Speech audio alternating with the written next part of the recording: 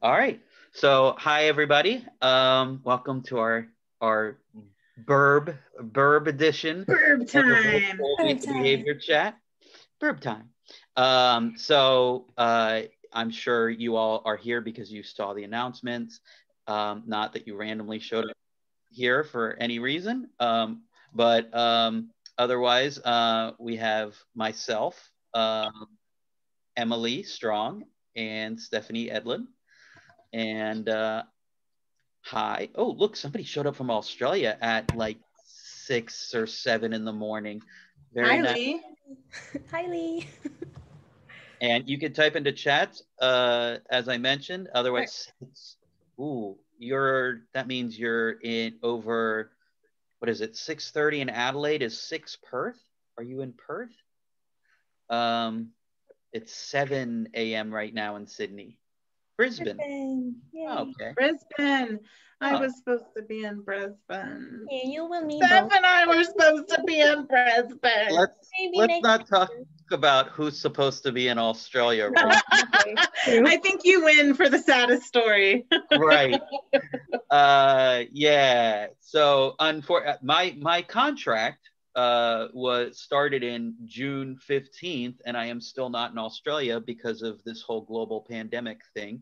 We're still trying to get me there and the academic year starts in march. I am a senior lecturer in the school of animal and veterinary sciences um, at the university of adelaide um, but i still have not technically started yet. So that's the sidebar there. Otherwise, I'm sure uh, another sidebar here is that Emily, Stephanie, and I have a long history uh, of chatting. and Sarcasm. chatting. Yes, a bit.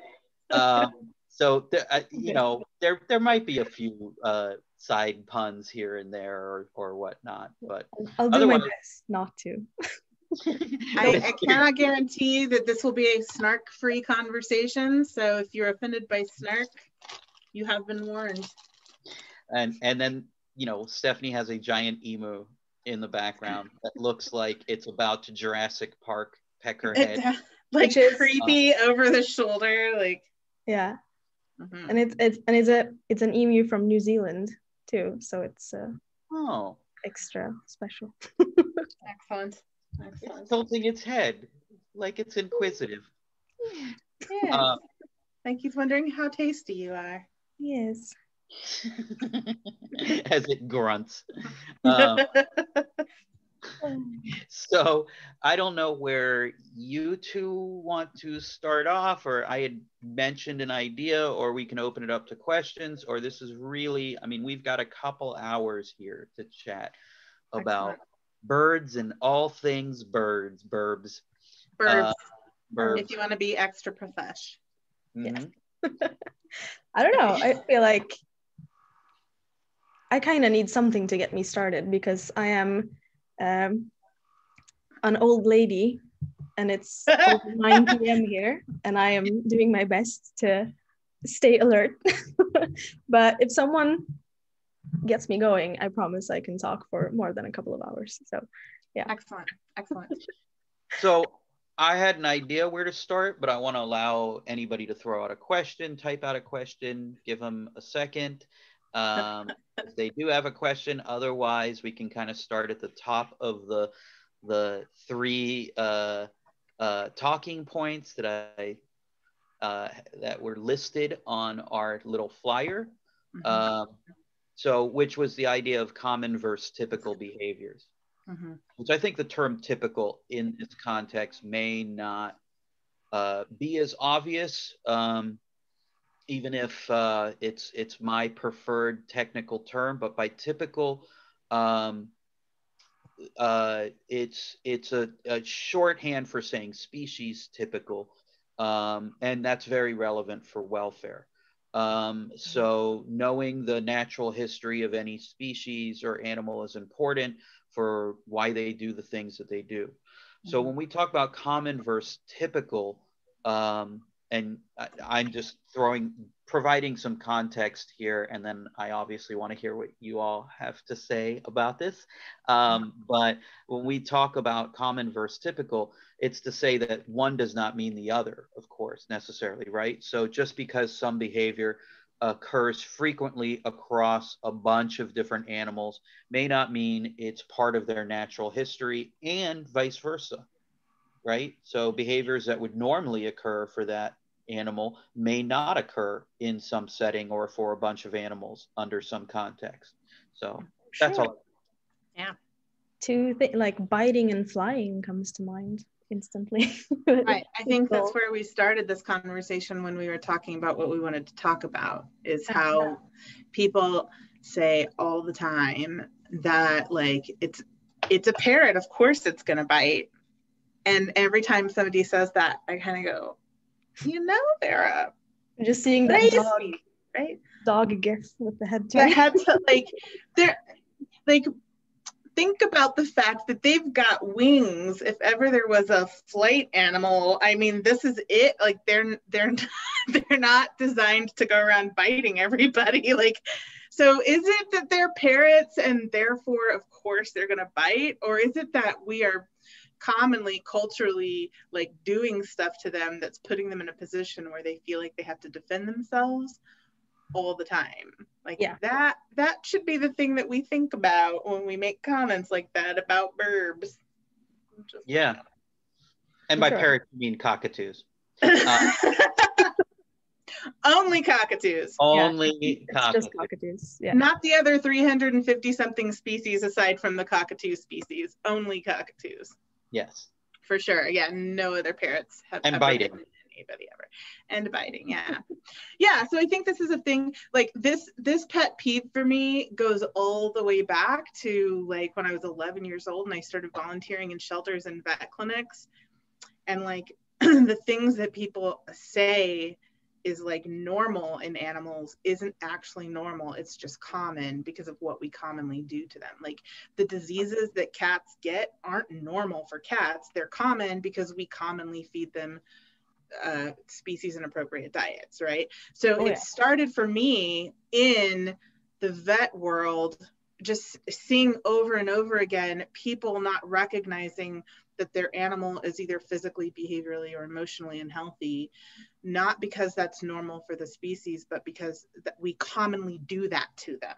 Yeah, right? I mean, we see that with so many things. Like especially, right. it, it's super, uh, or like even more obvious in, in the vet uh, vet care business. I would say too, because sure. like obese dogs is an example. Like people are so used to seeing chunky dogs that like when they see um, a dog that's actually like healthy looking, they're like, oh my god, the poor skinny dog. Skinny, you're underfeeding. Yeah. I, so it was either 2006 or 2007 because I was working at a clinic that I worked at over during those two years. That a study came out, and I don't remember the exact statistics. So take this with a huge grain of salt, but it was like 70 something percent of veterinarians and veterinary staff were unable to accurately identify where an animal fell on the BCS scale. Yep. On the BC, BCS scale is redundant on the body condition scale. Yeah. And and so if like the people in the profession can't identify what is a healthy body, then how are we expecting pet owners to do that, right? And this is supposed to be a bird talk, so I didn't mean to yeah, kind of derail sorry. it into dog and cat land. No, no, no. I was the one who did it. I started, but my point is like the reason it's hard for me to like contain the snark is because this has been something I've been dealing with my entire life, starting in the veterinary field. And then when I became a parrot behavior consultant first and started working with birds, seeing that there too, it was just like, like this like making my, my face is like involuntarily spasming every time somebody says something like it's parrots they bite. What do you expect? Right? Oh it's the same for me. And like j- just to take a parrot related example of the same thing like something i hear so often uh, when i'm out talking to to bird clubs and stuff uh, or just speaking to to breeders is that well i mean it's birds. You're gonna lose some die. yeah, It birds happens. just die. Yeah, like they just fall out of the sky. It's totally normal. What? yeah, I mean, it's normal that, that birds die sometimes. That's just, I, Yeah. I mean, everything dies, I but mean, yeah.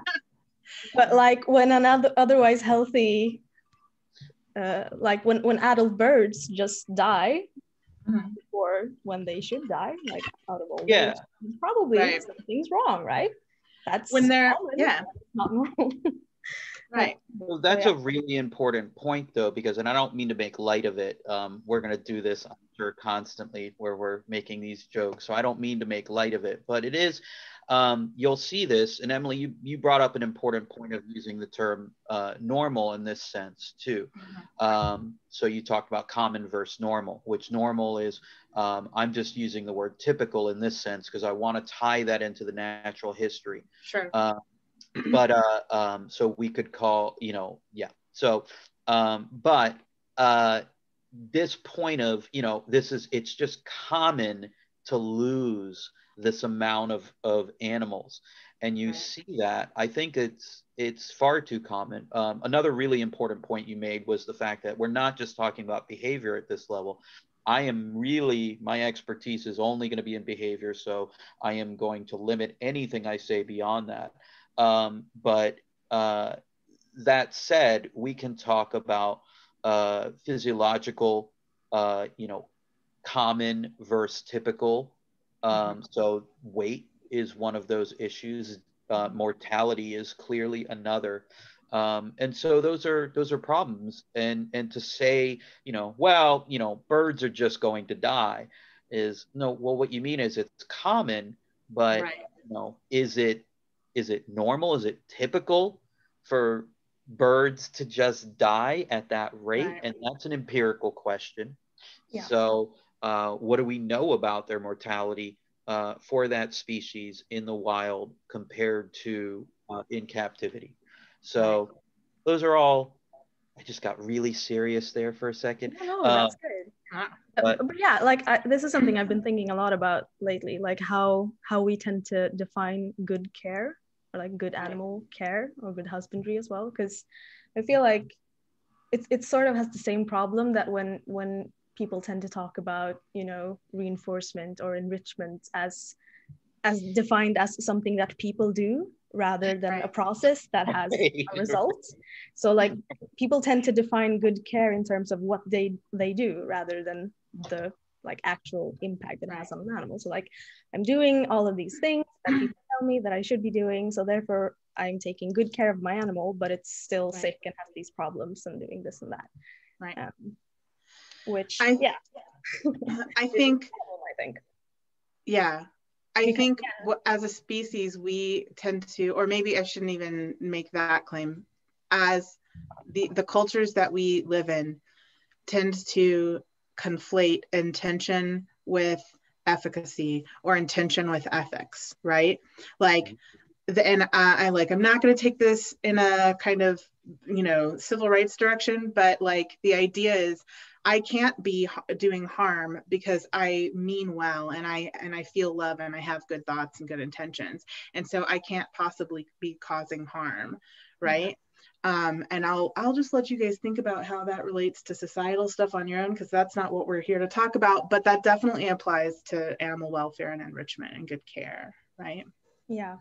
Uh, yeah and I, I feel like that's it's such a tricky thing thing to deal with uh, in in vet care too. Like i've i've been in in that field way shorter way less than you have. Um but like since it's it's it's my my last job so it's sort of where, where my head is at nowadays um but yeah it's especially when you work with with exotics like um, pet animals that are not dogs and cats it's like I've read some reports. I don't really know if there's any any data, actual data to back it up, but like up to 90% of cases that we see are like could have been prevented if the animal just had gotten better care, which like from Yeah. my point of view, um, like or from my experience rather, is does does seem like it could be correct for sure. Uh, sure. And most of people that have these animals, obviously, they don't want to they don't want to take bad care of them. they want to do Right. the best they can uh, Right. and have all the best intentions. So, but yeah, Right. it's it's tricky when people really think that they're doing good and want to do good. Um, Right. But yeah, sort of aren't. right so the question becomes how do you how how do you how are we defining good adequate care? How are we defining enrichment? What are our what are our goals? What are how do we you know actually measure our our success against what like against what standards right? Yep. um, because a lot of times it's a matter of identification. Like a lot of times when there's a training disagreement with somebody who comes from a different ideology when you actually sit and have a conversation um, that it's they don't know they don't recognize that their ideologies are different because they don't recognize the difference in body language or response or you know behavior right? So a, a lot of times that that's the crux of the issue is that we're we're measuring what we're seeing against different standards For sure. right? Yeah. I think that's a that's a super good point. Just Yeah. or, or Uh, even or even that if we're measuring them at all, because that's like uh, often not the case, at least not explicitly, which it kind of should be. Um, right I, I wanted to bring this back because it's relevant to something that Andy uh, brought up, and I, Andy and I were just chatting there uh, publicly. I haven't seen him in, gosh, I don't know. It's been uh, close to a decade, maybe over a decade, but it's been a while. Um, so, hi, Andy. Um, but uh, uh, so this idea, and one of those metrics, and then this goes into another point that I want to bring up that EK uh, had messaged me um, to uh, talk about. Um, but, uh, you know, we can talk about different metrics for mortality, which are often used to make comparisons about how well animals are doing in captivity. So, as Mhm. Andy mentioned, for, for some species or many species, you know, acute death may be, uh, could be one of those metrics, and they, and depending on on what the data tells us that may be uh, uh, and and probably is for many many captive species um, uh, less likely. Um, i mean you know we have control over environments right? So um, things like uh, uh, extreme changes in temperature are less likely to cause acute death.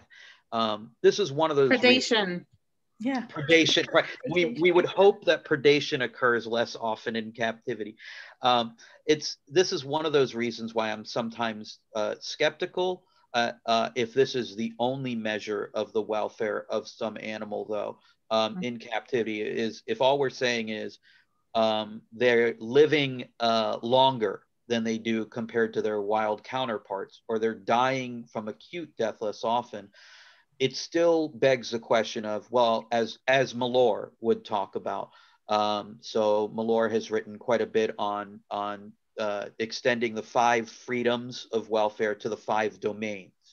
And as he's as one of his uh, components to measure that is a, a life worth living. So even if we're talking about extending the lives of the animal is it a life worth living what are their positive metrics so this is to say all of this is to say that obviously uh, mortality is an important metric but should be combined with other things we cannot use that alone um, as a good measure of welfare but that Definitely. well and i, I, I have. Oh, sorry. Go ahead. So i think also the the notion of acute death needs to be sort of like sussed out a little bit right? Because a lot of times like i i would argue again selection bias being i'm only seeing the animals that are coming into the vet clinics that i've worked at right? But like or which isn't actually true because i've also worked in an aviary and as a pet sitter and i'm a behavior consultant so i see birds in quite a few capacities. But um what we're seeing in captivity is more metabolic death which Yeah. if you don't know what you're looking for can look acute right? If you don't know what a disease looks like in an eclectus parrot and then the eclectus parrot just keels over one day you're like oh well that was an acute death but like that's not true right? And i i think I, I have yet to meet anybody who would argue that metabolic death happens as much in the wild as it's happening. Yeah. I mean, metabolic disease is happening as much in the wild as it's happening in captivity. Yeah, I mean, So, How common isn't it with like parrots that die of atherosclerosis or something like that? A- Right. it's it can be a very acute death, like Right. literally, but it's it's not because of an acute like it's a very chronic problem. So like one one example that instantly comes to mind uh, when you were talking about how like the length of life and, and quality of life are different things are like all the tortoises you get to see when you work at an exotics clinic. They are very hardy to their detriment because they just won't die. Like they can live for decades with like the worst welfare you can imagine. Like they can barely digest things. They're like, uh, um, yeah, calcium deficient. Can't like, their bodies are not working, but they're still alive and like sorta dragging themselves around on someone's floor. So people are like, yeah, they're fine. They're turtles. Right. They're supposed to be slow. So, eh. right. Uh, you know, they're reptiles. They don't really have behavior. no, so, Right. you know, that's right? Right. Um, so, I mean, They don't have so feelings. They good. have scales. Birds are Yeah. reptiles too, okay? I, I I love making that joke with reptile people when I'm like, well, they don't really have behaviors, um, because and in fact, one of my one of uh, my uh, co-faculty members um, is he he studied uh, uh, uh, lizards. I can't even tell you what species in the wild, uh, native to Australia. It's some um, and he spent a lot of and we make jokes like that all the dang time because of how it's like yeah it's you're not attending to the behaviors that are specific but i'm detracting from bird talk um, by talking about now i'm talking about reptiles but the same thing Honestly, Are reptiles? I think it was really unrealistic to expect the three of us to stick to like a one birds. genus or just birds. Like, come on, like Yeah. uh, birds, yeah right we- I was going to throw out an actual, uh, just to end some of the, the conversation on uh, mortality and, and metrics for welfare, um, since I think this is relevant. And I was going to say a, a good analogy for how this has been used um, is with uh, marine mammals, specifically cetaceans in captivity, where there has been a lot of effort gone into uh, looking at how long animals so their mortality in captivity versus the wild and use because it's such a contentious issue because people have made claims uh, people who are very much against uh, cetaceans in captivity in any form have claimed uh, you know without data uh, that they're not li- you know they're just they're just dying they're dying they're dying all the time acute Mhm. death um, their overall mortality.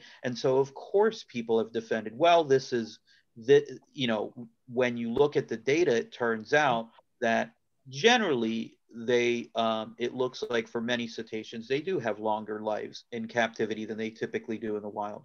The limited amount of data that is there for that. But again, what is that? That, that tells us nothing about the quality of life.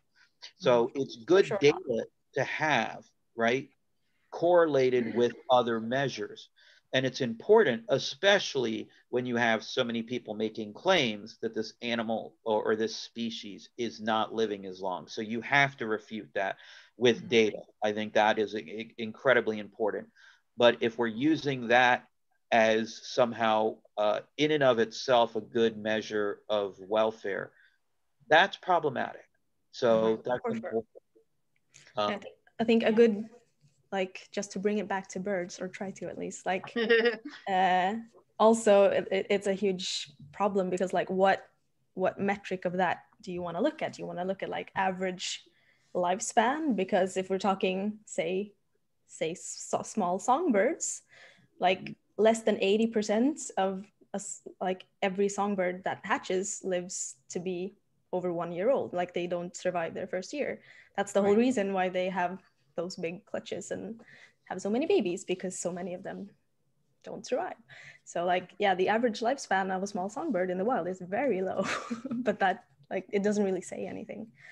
Um, Yeah, I, I was going to say, I mean, this is what this came up in with elephants and welfare because originally people had measured longevity in captivity. Um, so uh, Clubb and Mason, um, going back to the early 2000s, were measuring longevity, and people quickly pointed out to them that this is not a great metric for mortality, that it's actually life expectancy, mm-hmm. which is calculated differently. So I'm, I don't, I'm not going to get into the, the, the particulars there because it, you know, we're talking about different formulations of mortality now. But that said, even how you calculate these things can produce very different results. So when you look at life expectancy versus longevity, that's relevant. And, and that's what Clubb and Mason then did and showed that still Asian elephants, in particular in captivity, have shorter life expectancies. But uh, since that time, especially in just the past few years, and again now I'm I'm talking about elephants, both Asian and African elephants. Um, but since that time, there have been so many cross institutional, multi institutional studies done uh, with elephants that people like Kathy Carlstead um, have led and been involved with. Um, uh, Greco, Karlsteed, um, some of these people that have led this, this charge and, and really produced some great. Uh, uh, I mean, a dozen, almost a dozen studies, I think, just in the past four or five years that are multi-institutional that are all about what's happening for elephants in captivity. Um, and actually i have a paper under review um, mm-hmm. that involves uh, uh, you know three elephants one african and two asian elephants and some of the specific activities um, uh, public feedings for those elephants. But not, i I was about to say, do I? I don't have any bird papers under review um, right now. Um, that's so disappointing. Why are you even here, Eddie? Right? Yeah, right. I know. Poser. Uh, let me let me do this really quick. um, so, um, but uh, yeah, no, uh, I was gonna say I do have bird bird papers published in the past year. So, um, well then, that, I that, guess you can say. I have a, a chicken, dove, and pigeon paper published. Oh, in, that's in cool. Each money. How about that? I like it. I like it. Yeah. Yeah. Mm-hmm. Um, so yeah. um, I, I'm going to throw this back to because EK had asked uh, uh, about uh, basics for achieving specific behaviors with birds, and their example was uh, what a bird should exhibit before we ask a behavior to them, and discuss me- methods for asking for those behaviors. So um, I don't know much beyond EK if you want to elaborate on that. I mean, it sounds like you're talking about what what's your baseline activity before maybe you you know think about what you are looking to train a bird to do or what might you be interested in training the bird to do and this kind of i mean this is indirectly related to the topic of common versus typical behaviors as well so what might we expect birds to do um, you might want to elaborate on that, maybe, EK? Otherwise, you are either of you are more than. Um, oh no, that's that's all right. Uh, so EK, you want to switch it to also public. Um, so to everyone, when if if you type, if you want it to go to everyone, and nobody has audio other than Emily, Stephanie, and I, you can type in any particular questions you might have, but you can also make it addressed to everyone or just to me if that's easier for you. Um, yeah. So. Otherwise, you. It's in general, it's it's really good for me if people. Type stuff in the chat so I can see it because my working memory sucks. So I'll start thinking about something and then I forget what the question was if I can't read it. So I like seeing things in text. It's uh, uh, absolute basics for training a bird. Yeah. Okay. So, wow. I mean, oh, it's such a big question. Yeah. It's. I mean, the absolute basics is is. It's pretty much I mean, harder harder to answer than I think a specific question. Yeah. Um, uh, go ahead. No, I was just thinking one what uh, one part of the question was uh, what to look for before we ask for behaviors, like before we start a training session. I interpret it as something like that. Mm-hmm. Um, yeah. I think. I mean, to me, the absolute basics would be um, is the is the bird comfortable around me. right? Can we exist in a space in close proximity and the bird's like, yo, what's up? Instead of being like, be friend or foe, right? Um, uh, by the way, I don't do all the science talk. I What- do the What, wacky what, talk. what species is that though? What species of bird is that? That's like, yo, what's up? um, every do. species of bird. Do you not phrase? speak burb? I I don't know. I just want to know. I want to know which. I want to hang out with that species of bird. That's just all like Well, bird. All the burbs, okay? You just all the bird. clearly, you clearly just don't speak burb. No. which is fine, whatever. um, yeah, they all do it just in their own dialects. Thank you, Brittany. Um, so that would be the first thing, and then the second thing is like what what motivates the bird? What does the bird care about? What will they work for? Um, what what makes them super stoked as opposed to just kind of like okay with something? Um, so I think that's the the the absolute basic for me is like is the bird comfortable around me and do I know what they care about?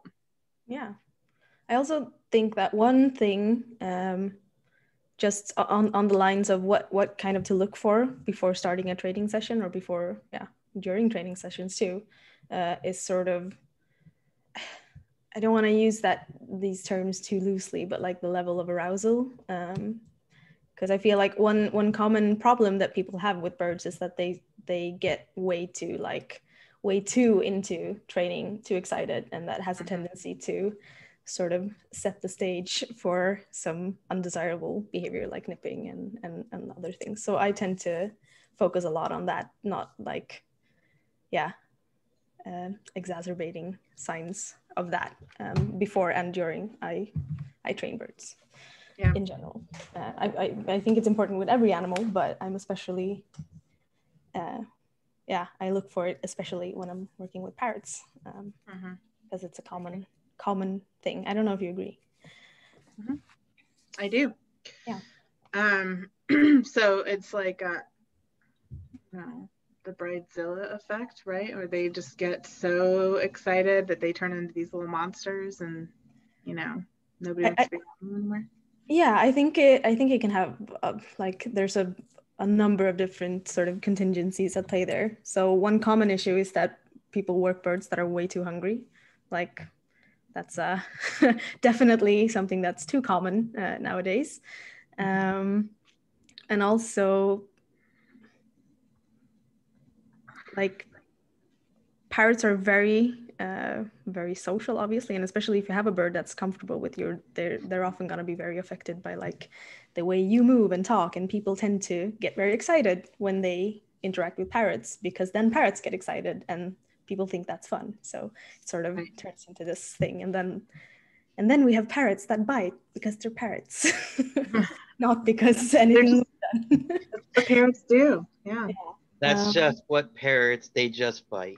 yeah Uh, they just- cockatoos. That's fine. Um, Um, these there's are, been a lot these of are all parts of the jokes here that that I was alluding to earlier. Um, but uh, uh, I was gonna say. Uh, oh, by the way, I was gonna throw this out really quickly. I did lie. I do have a bird paper under review. Um, of course you Yep. You want to take a guess, though? I know that both of you can probably guess um, the general class. Um, Is it is it penguins by any chance? it it is. be? Oh It my is. god. I have a penguin paper under review. are you so I- Of clairvoyant course you emily do. Um, so I humble, am. I am. humble. I knew you would be able to guess that. Um, so, uh, but yeah, so I do have one bird paper under review right now. Um, so Pengies. pengies, they're Mhm. they're they're they're the most adorable of all this. That's actually empirical. Um, so they're the most adorable of all all the birds. Every every I, wa- I want to make some kind of bird bad bird pun about emperor penguins now, but I won't. So. Empirical emperor penguins. I have that. Wow. I, I, I we we can we can talk about ox, but um, so Let's not. Let's not do let's, that. let's not. Um, there were a few questions that came up. Yeah. Um, so one of those, but I, I do want to throw I, I because I think that's important. This idea of assessing behavior and how do we assess behavior, and it, and it goes back to this normal um, you know, normal or typical versus common, and what we're doing to to determine, you know, what are our interactions like? How do we know whether this animal is or is not stressed um, mm-hmm. in some way? So. Uh, how do we know what their welfare is like, and how does that determine our future interactions with them? I think that's relevant. So I'll come back to that um, mm-hmm. because, like Stephanie, I have to have these things written down and see yep. them on. I My brain does a million things uh, uh, different times, and this is part of you know uh, when Stephanie and I are talking, we have long lists of things that uh, are going on at the same time. Five so. conversations at once. So yeah. Or like when I dared to sleep for six hours and came back to 146 missed messages, for instance. just saying.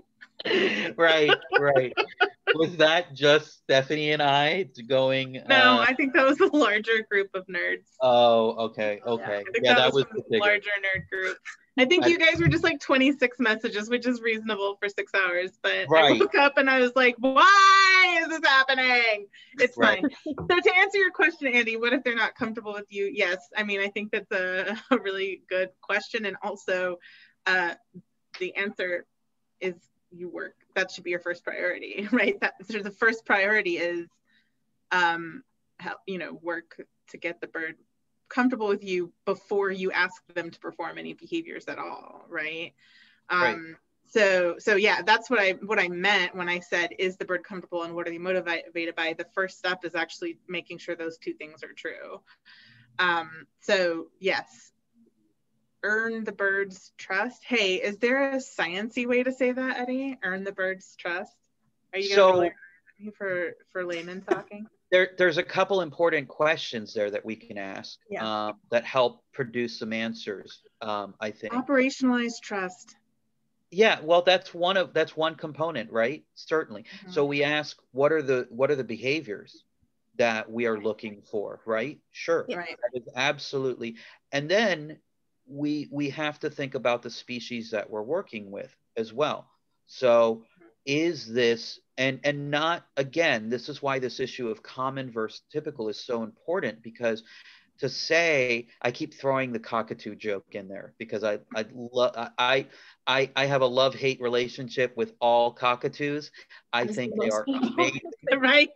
Is, is, there any other way to engage with cockatoos than having no. a love hate relationship? No um, they're amazing, and and you know what? I I have found that a lot of uh, my anecdotal experiences. There are a lot of cockatoos out there that really hate me. Um, so um, I think uh, if there's two, um, actually the most the, the most extreme example of any burb that has ever hated me, I think, was a, rhinoceros hornbill. Um, so yeah, he ooh, that that bird did Easy. at Cincinnati. yeah, no, it was. It, I mean, it was. It was clear I was never going to have any form of direct contact, free or or even uh, you know some form of restricted contact, protected contact with this bird because that just wasn't happening. Um, as opposed to the bird that loved me the most, which was a Chilean widgeon at the same facility who courted Cute. me, Haley. Um, but um, uh, so all of that said, I mean, I think those these are important questions to ask. Are what are the behaviors we're looking for? How do we how do we define those that? So if we're saying the bird is comfortable um, mm-hmm. now, okay, what does that look like? Right. What are what are the things the bird's doing? What are they not doing? And is that common or typical? So uh, if we're just saying, well, the bird's not biting me, it's like, okay, but that's not maybe that's that sounds like it's more um, now we're talking about uncommon rather than untypical, right? Right. We, so, we need to maybe raise our standards just a little bit yeah, higher yeah. than the bird's not biting me. And, right. and I, I'm by the way, we're seeing all these these questions. We're coming, we're, we're yeah. going through. There's a lot that's it's great.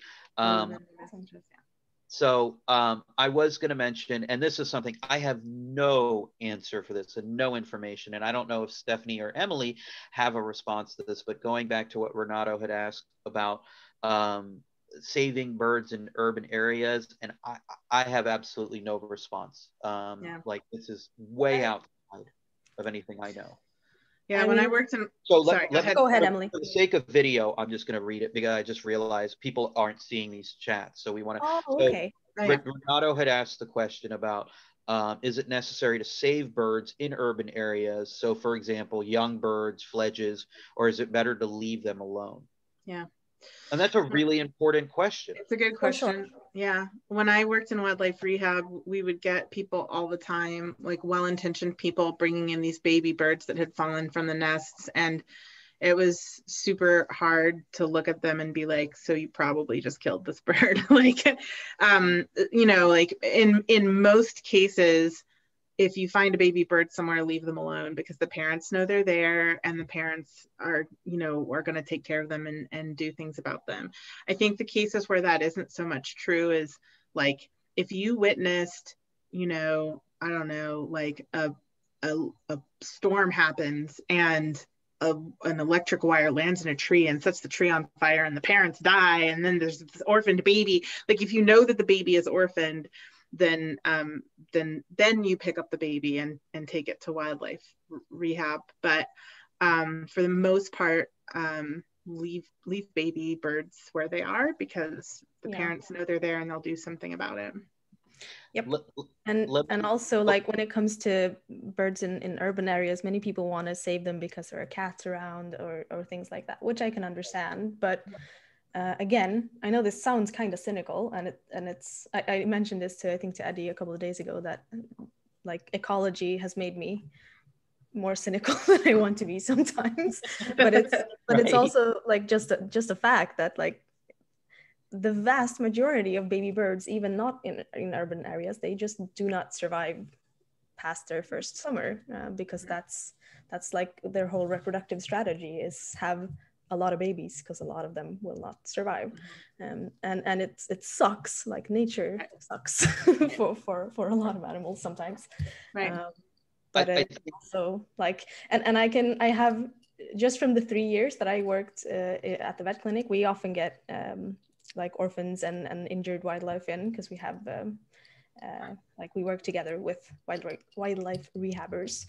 Um, and at least two times we've had like an injured some kind of, of small bird come in, um, it's been treated, and then it can be released. And then we release it, and then like literally a minute after it's released, it gets eaten by another bird. it's like, yeah, okay, I spent yeah. four days mm-hmm. caring for this poor bird, and now yeah. it just died as soon as we released it. So yeah, that's uh, that, that sucks. Uh, that's and also, I mean that is, right. that is that is uh that is unfortunately, and you know um, because uh, so one of the and again throwing out going out of birds uh, you know i, I talked about uh, I, I, I, published a paper that was part of a, a senior thesis uh, for an honors student um, that i supervised years ago and we published it last year on ex situ conservation through enrichment um, and enrichment testing with golden lion tamarins and when you look at the literature on golden lion tamarins, yeah. um, so here's just an example of what's happening. I mean, there was a huge effort. So um, many, most accredited zoos, EAZA, so uh, AZA, EAZA being European uh, mm-hmm. Association of Zoos and Aquariums, AZA being the uh, American Zoos and Aquariums, um, or the Association for Zoos and Aquariums now. Um, so uh, and different WAZA, so the world version. Um, so they have, uh, you know, species survival plans, SSPs, that they do. And so a big one that's been done for several decades now has been golden lion tamarins with uh, saving them, you know, doing this uh, reintroduction program. So breeding um, and reintroduction, propagation and reintroduction into places like Colombia. And it's been massive. Um, and people like Devra Kleinman uh, led the charge on a lot of that. She did amazing work. Uh, the late the late Devra Kleinman. Um, did amazing uh, work studying this effect. But one of the things they found with golden lion tamarins was that they would uh, successfully got they got the government on board with having these animals reintroduced, with uh, enabling programs to protect them. I mean, if you go down to Colombia now, I think even still now they have golden lion tamarins on their money. Um, so uh, it's pretty amazing how much there was just a public, a concerted public effort and government effort involved. And we we got all this, you know, pairs of golden lion tamarins. Say we loosely here, but got them bred in in captivity in different zoos across uh, North America, and then started reintroducing them, and then put them in the wild, and they just started uh, disappearing because and it turned out there was stuff done to measure some of what was happening. And i always my comparison to this was it was like taking a homeschooled kid and placing them in the middle of new york. Um, like that was it was like oh let me walk into the street and wave this cab down you know and plop you know. So these gold lion tamarins were doing things like hanging down and foraging on low mm-hmm. branches and you know and they're they're doing almost like this douglas adams-esque hitchhiker's guide where they're just like the, the sperm whale floating down going oh what's that thing that i'm, I'm gonna name you earth? And then like they're doing that to the snakes and other predators like oh look you're a pretty jaguar you know and boom um, so there had to be some training of that and that's really relevant. So but unfortunately that whole story was just to make that one little point um, of that these things are unfortunately part of what happens with uh, animals in the wild whether we're talking about reintroduction or not.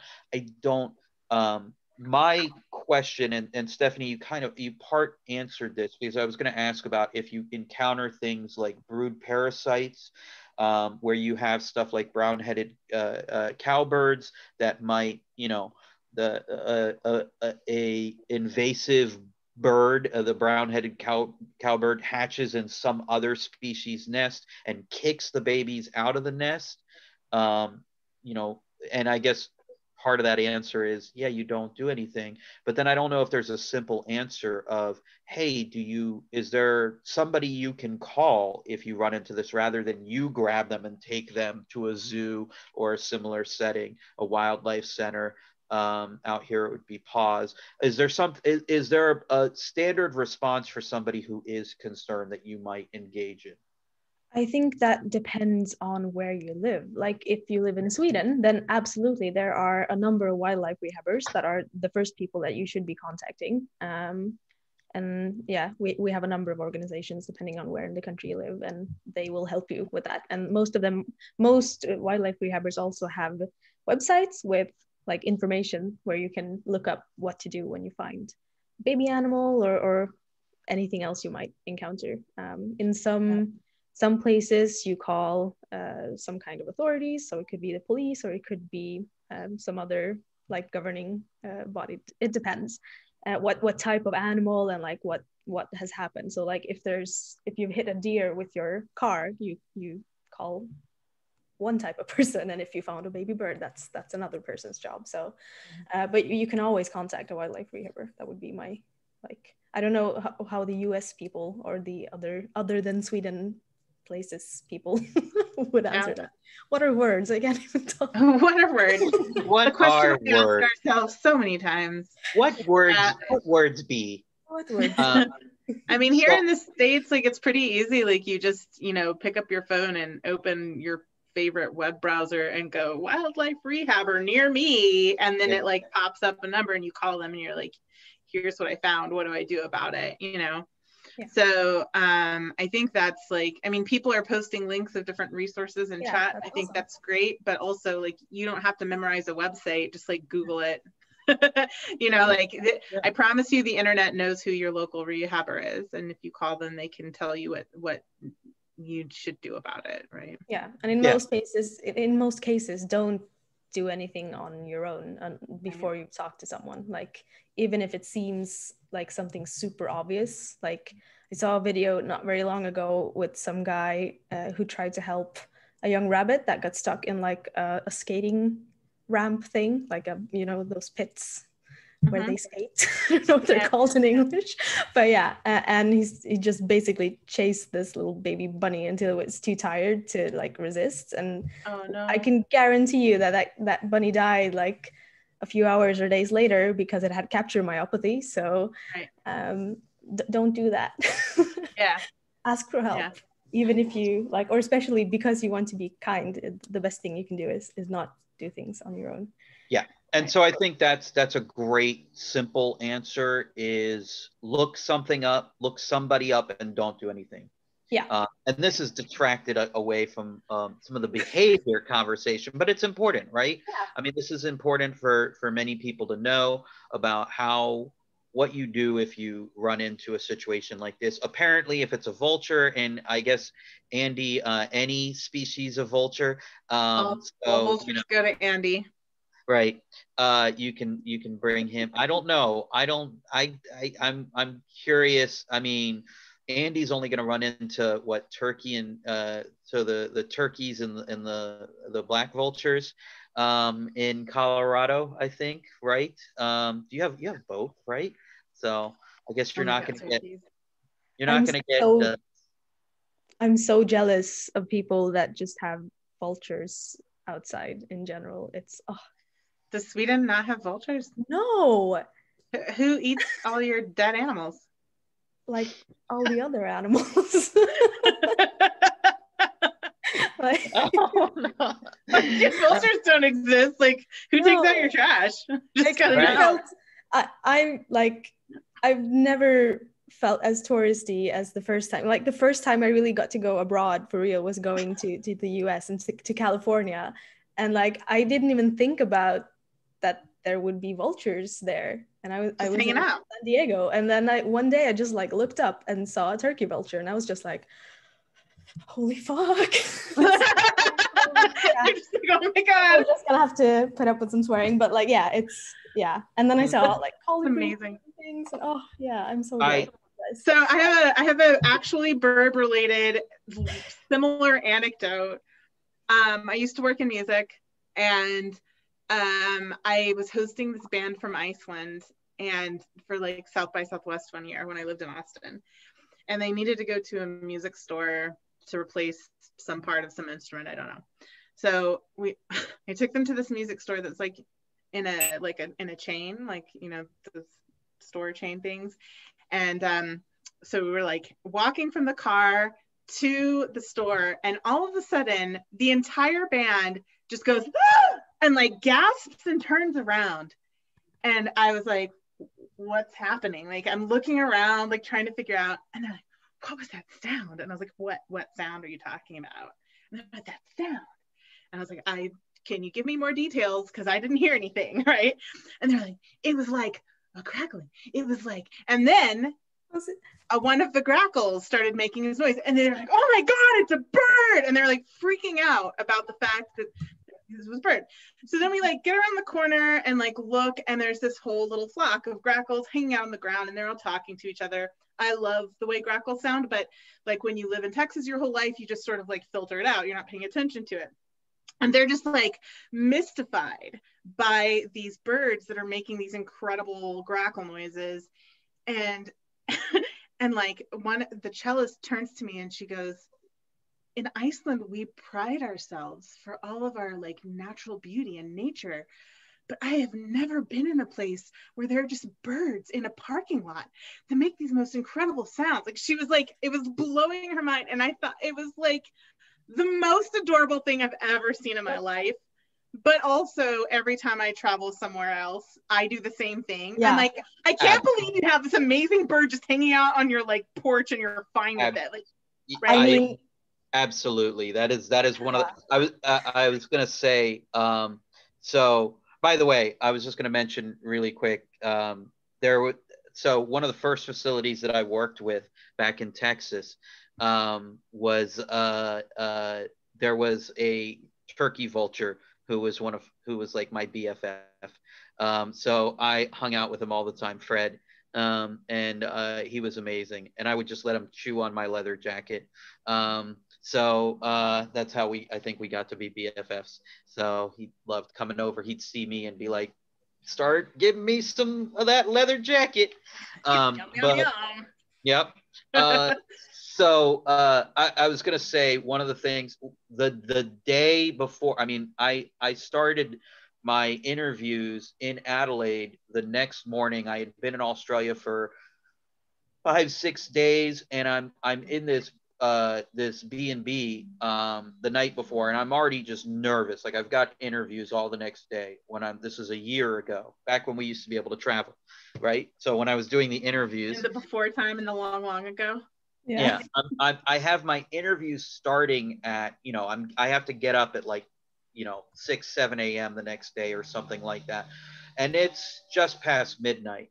Um, and I'm at this B and B, and I'm already just you know trying to think of all the ways to make myself go to sleep.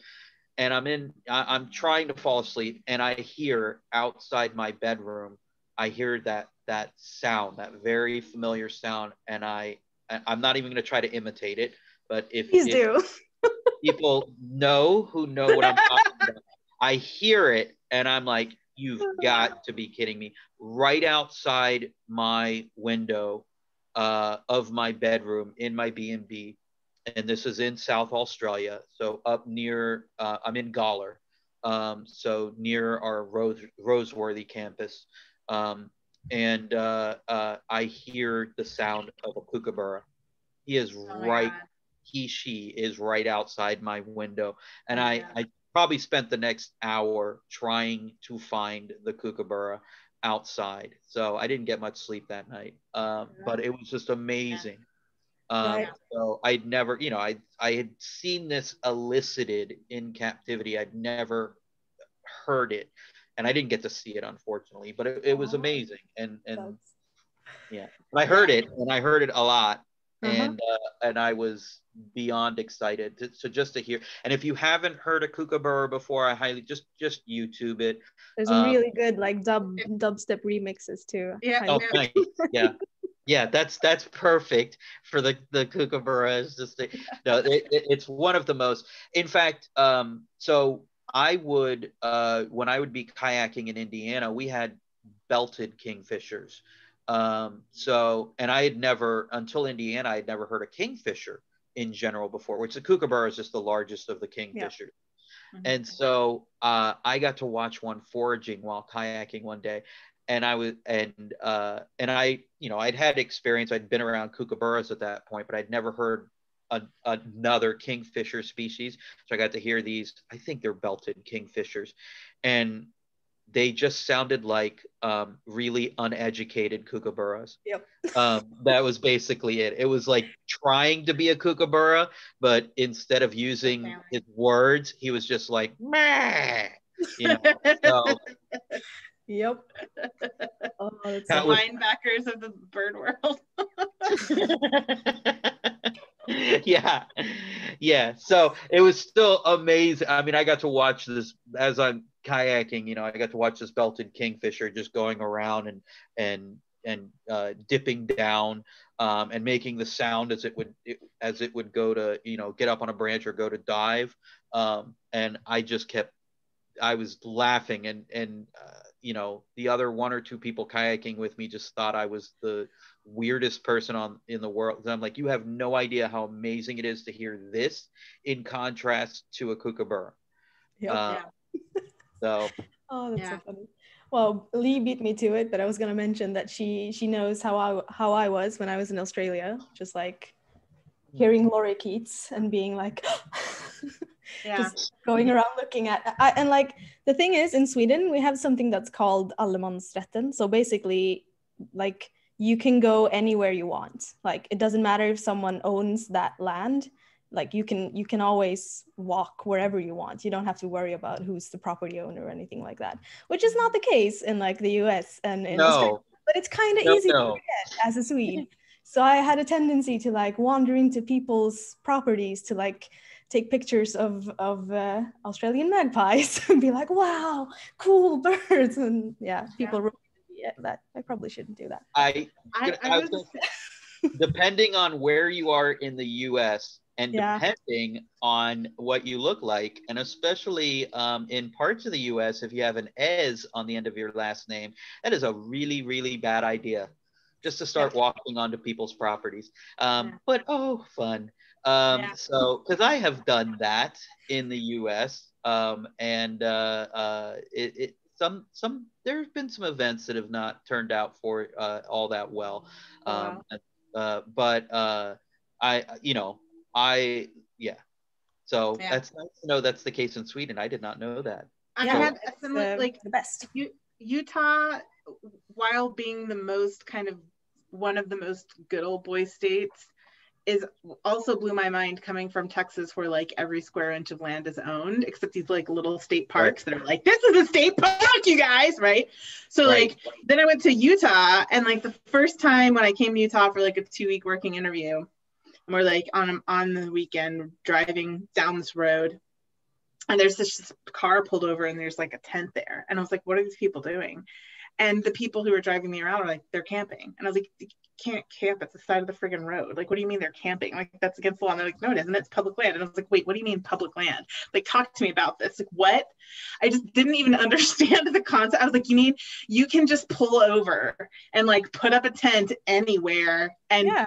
People are fine with it and they're like yeah as long as it's public land yeah and i was like well what's public land and they're like everything that isn't owned by a person like they, they just didn't understand And it just And it it's just like- blows my mind that that's not the case everywhere. It's just like, Yeah. I'm used to just being like, eh, I want to go for a walk. I'm just gonna walk wherever I want. yeah It's fine.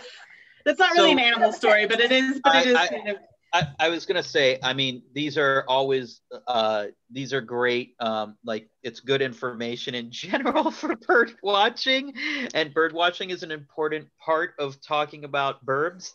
Um, so uh, you know, that's always important. But we want to get back to some Back to training. Thank you, Eddie. Oh, Right. By the way, I may have uh, someone doing yard work outside my window, so I apologize if you start hearing. Uh, it sounds like there's a leaf blower out there. Uh, so, yes uh, andy i i know well how eddie can keep us up all night Yep. talking yep, yep, most definitely. Um, but uh, there was a question asked. Ek had asked a question earlier about uh, so some of the potential uh, reinforcers, so re- potential rewards for birds other than food, and talking about some of that, what you can do with training. I don't know if what you all have to say, you all Oh. being Emily and Stephanie, and a lot uh, of things. yeah, No, but like Since- Go for it, literally, Steph. Yeah, no, literally, uh, like anything. Uh, I use or like there's there's so many things, especially with parrots, like toys. I mean, what the last workshop I had before COVID, I started training uh, a mini macaw with like a clean syringe, just using it as a toy. And we trained a step up with that. Like it stepped up and, and got to play with this syringe. Uh, so it can be objects like that, but also like um, like social stuff Yeah. for the lack of better words. Like i have this whole ritual with echo one of my my grays where where we do we have this like almost ritualized uh, movements that we do like every day. And like i've never intentionally reinforced that with any kind of tangible or food or anything. It's just like it's a social thing. Like that's how Alrighty. how most people uh, most people most uh, species of parrots uh, learn to talk too. Like their vocal learning is very just based on on social cues and social reinforcement and stuff. So uh, so yeah the possibly unhelpful answer is pretty much anything and it depends. Yeah. Well i mean i don't i think yeah it depends right? Is the kind of like magic catch-all answer for everything. Yeah but it's but i mean i think it really does it, it's about knowing the individual bird and the context in which the behavior is occurring right? So like when i worked at a sanctuary which shall not be named um, but when i worked at the sanctuary they had a, a cockatoo flight with moluccans and there's this one moluccan when every time we would go into the flight to clean because the hose would like not let the door close all the way this this particular Moluccan would always get out of the door and go into the airlock and go up to this corner to like chew on the wood ceiling. So first of all, whose brilliant idea was it to have a wood ceiling in a cockatoo house, right? So like right there, that's just a, a uh, like a basic management fail. Like don't build a cockatoo house out of wood, you guys. Um, but secondly like the, they just had no this this bird didn't want food that they couldn't like get this bird down with anything so the way after every time they cleaned out this flight, the way that they would get the cockatoo to go back into the cage was by taking the water hose and like shooting water at the bird and kind of pushing him with the with the flow of water, like pushing him back into the run. Right. And surprisingly, this bird was unpredictably aggressive. It's weird. Like I could never oh, right. figure out the connection there. Right. Oh, strange. Um, so like just watching first of all we have a pretty good idea because he's a moluccan cockatoo that uh, he he's going to be motivated by melodrama, right? I think that's just a reasonable thing to say that melodrama is reinforcing for cockatoo for Moluccans. Um, and you would watch this bird every time like people would come out and get frustrated with him and be like why do you do this every time and like he's up there in the corner being like this is amazing like this is gonna be fun and like running from the the water like obviously he hated being hit with the water but but like the whole interaction that whole dynamic was obviously reinforcing the behavior like just watching his body and but just by the fact that the behavior kept occurring right? But um but like just watching his response to people. So i was like how about we just not spray him with a water hose and instead we just like throw a big stupid party and act like an idiot and so that's what I did. I like came out with these toys that I see him playing with all the time, and I'm like, blah, blah, blah, like acting like a complete friggin' moron, and like hitting the toys on the on the on the side of the cage and be like, "This is amazing! Like, look at this party you're missing, bird!" And like he just was like, "What are you doing down there? Why can't I be a part of this?" And so like he just came down and he was like, "What's going on?" And I was like, "I'm like having a super fun time with these toys, bird." And and he just like wanted to be a part of it. And I gave him a toy, and then we like got to hit the toy on the on this wall together. Like he got to slam his toy on the wall, and I got to slam my toy. I was like, "We should do this inside the run, you know?" And he's like, "That's a great idea. Let's do that." And, and they say like, bird people are strange. Like I don't I know. know. why they say that because we're like perfectly sane and normal, grounded, mature adults. Um, but we, we just sort of like, we're totally oh. normal, right? Um, and so we just sort of like took the party into the run and it was fine. Totally and then like, we're, we're, we're, not normal, we're typical. Sorry, Eddie. you had to. You had, there's, there's, that was the only direction that joke could go in, right? Um, oh, yeah, it was just like it was not a big deal. It just wasn't a big deal. Like every every day, that was how I got him back into the run, and surprisingly, he liked me. I don't know why. Oh yeah, why would right? he do that? just this magical connection that we can't explain. There's really two important parts there too. Uh, that you're. I mean, there's more than just two, but there's two things that I'm. I'm. I wanted to point out that you talked about there, which are really relevant, which is access to tangibles. So that's something that we can talk about now as potential reward that is non-food based and making that access, and that includes interactions. Mm-hmm. Um, so access to interactions, access. I mean, we can we can take that and contrive that in a way so we can deliver it as a reward, as a potential reinforcer for some response. And uh, the other really important component of that is behavior is predictable, right?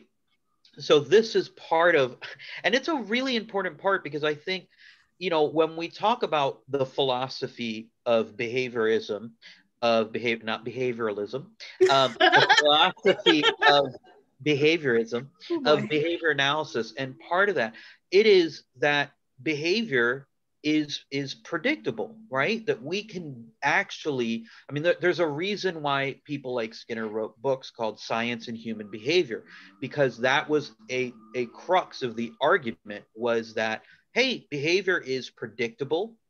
It is observable. We can uh, we, we can examine this empirically like any other subject matter. And i, I think that's a really important um, a you know philosophical viewpoint to take when dealing with any aspect of behavior rather than just saying i don't know it just happens. They just wanted to do it. They just they that's what they wanted to do so they did it. Well these things don't happen out of out of nowhere. It's an environment behavior interaction there's a there's contingencies involved there are consequences involved and you're talking about now making access to tangibles access to interactions with you and making that so it's it's it consequates some response. And right. that's so that's equally as important as the item itself right. So how you make the access to that that thing and it takes i think a lot of creativity um, and a lot of knowing the animal um, yeah i, I that, have one i actually have a video example if i can if i can yeah. speak there. just some yeah. some fun this is a super old video but it's also with echo one of my uh, one of my grays my Timneh and uh, let's see you should see you should be seeing the screen now yes yes okay. oh this, is, this is one of grays yeah, this is Echo, my little man. He's a he's a total weirdo, and I love him. Uh, but, but this is just an just an example of like something you wouldn't think of when you think, oh, what's a good reinforcer or a potential reinforcer uh, to use with a parrot? This is something that just like sort of developed on its own, which is I think something that happens with a lot of animals, but parrots especially at least if you ask right. me so so what happened here was this sort of developed over time but I think it started as him sort of just leaning a bit on my hand at one point. Uh, and I wasn't really prepared. So I sort of moved my hand to try to counter it because it felt like I was sort of dropping the bird, which obviously I wasn't. But yeah. Uh, and he obviously figured out that, huh, if I do that, then she moves her hand. And then it sort of developed into this very elaborate swinging game, which looked like uh, this. I think I need to reshare so you can hear the sound though. One moment. I agree, Andy. there we go. Whoops. So like, I'll just, you can see like in the start here that he, he's actually like flipping off my hand and then I move my hand. He's like leaning. Mm-hmm.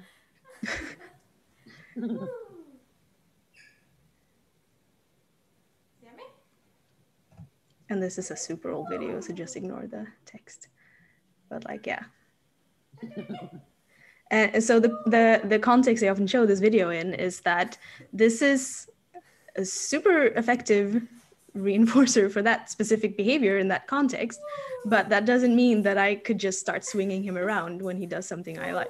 Like he would literally freak out and hate that and probably bite me very hard if I tried to do that.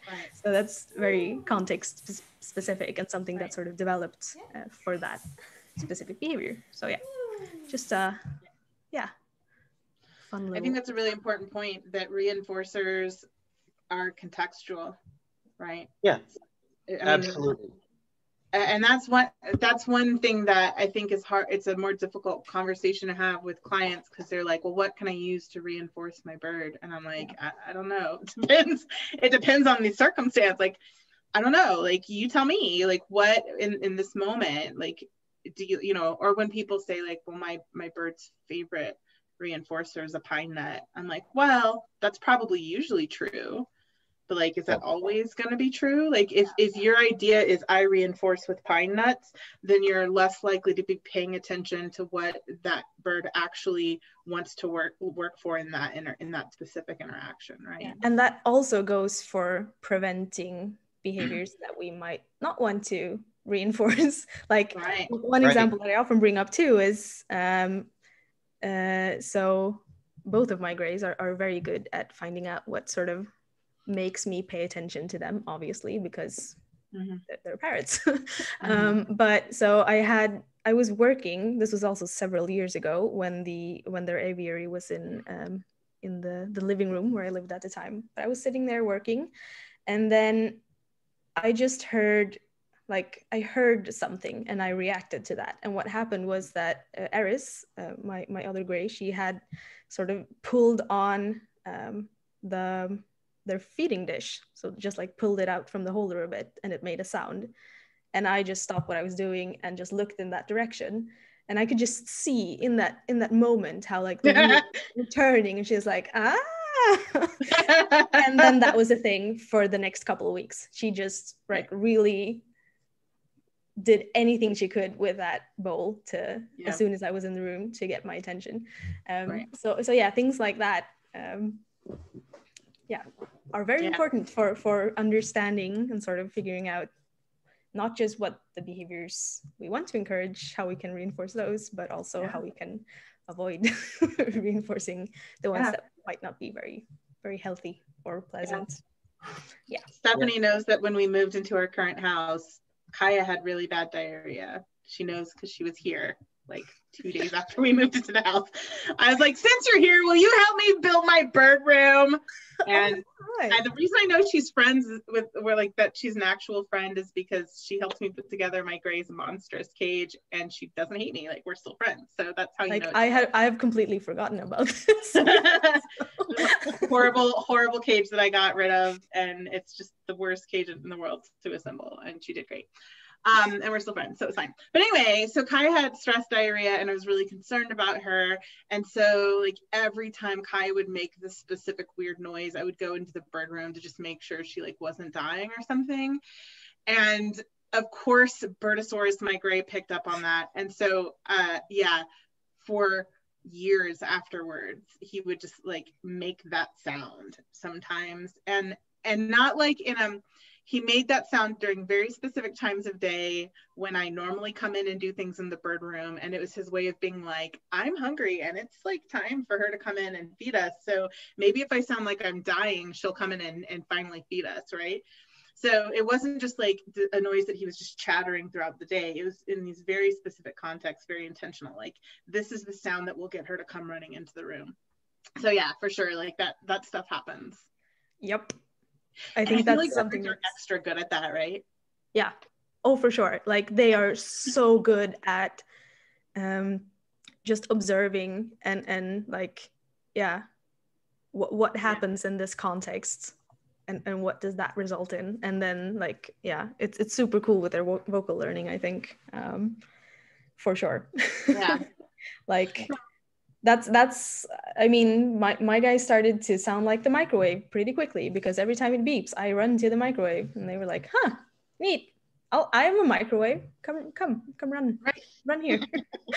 Run to me because i make microwave noise.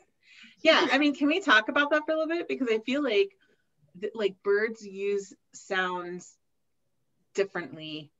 Yes. like individual bird what i'm trying to say is individual birds use sounds for different reasons. So what I mean by that is like if we're looking at uh, Kaya and Bayou, who are my two eclectus, Bayou is a red-sided hybrid, probably red, I don't know, hybrid red-sided something. And um, Chahaya or Kaya is an Aru. But like similar, like they're both eclectus, okay? Kaya uh, talks for the joy of talking, right? She's throughout the day, she just like says things and she's just sort of like imitating herself. Bayou only speaks to communicate. And so I have no idea what how big his vocabulary is because he's said things once and never again. And and so like I, I want to talk about that. I want to I want to talk about that because like this fascinates me that like this is there's even within the same species I have these individual birds who are using like human language for very different purposes, right? Sure. I think I think it's super cool, and vocal learning in parrots is something that is super interesting because I mean, first of all, we, we of course we have like individual differences, but there's also huge differences in between species uh, right, yeah. and the context in which different species of parrots uh, vocalize or, or imitate. So something that most most parrot species have in common is that they have very few like um, species typical or innate sounds. They have a, mm-hmm. one or two alarm calls. The begging calls they make when they're babies uh, are more or less innate, but mm-hmm. the rest is is learned in most species.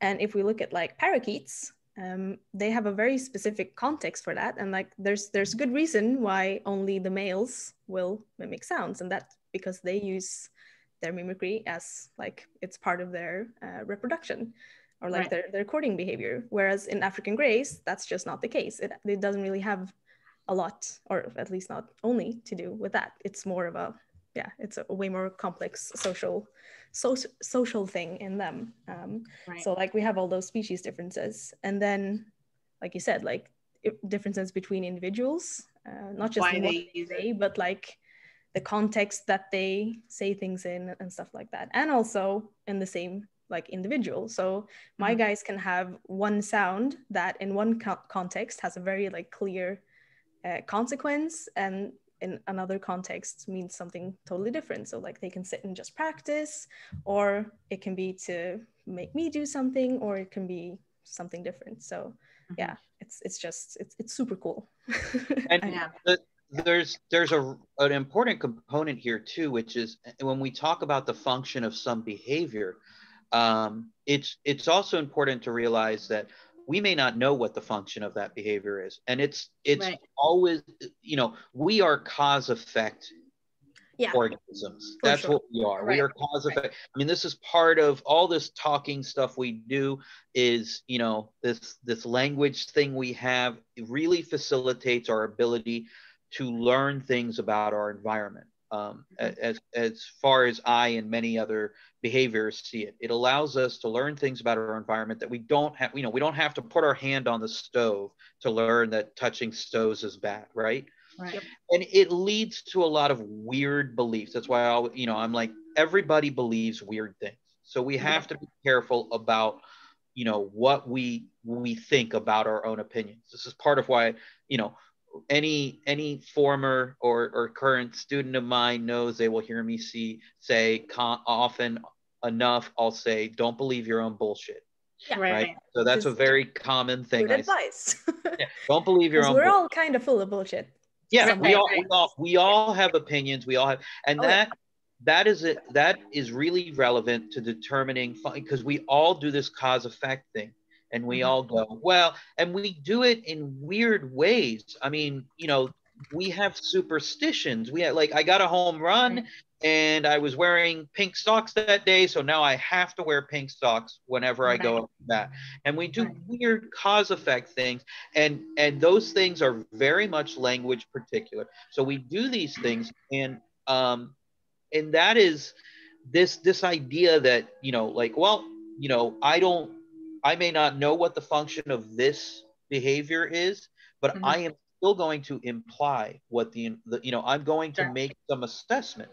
And that's that's very you know it's part of why we do things like descriptive analyses or we can do more formal functional assessments. Emily already knows where i'm going with that which is by the way there's the leaf blower near my window um, but i don't know how loud that is so i apologize again.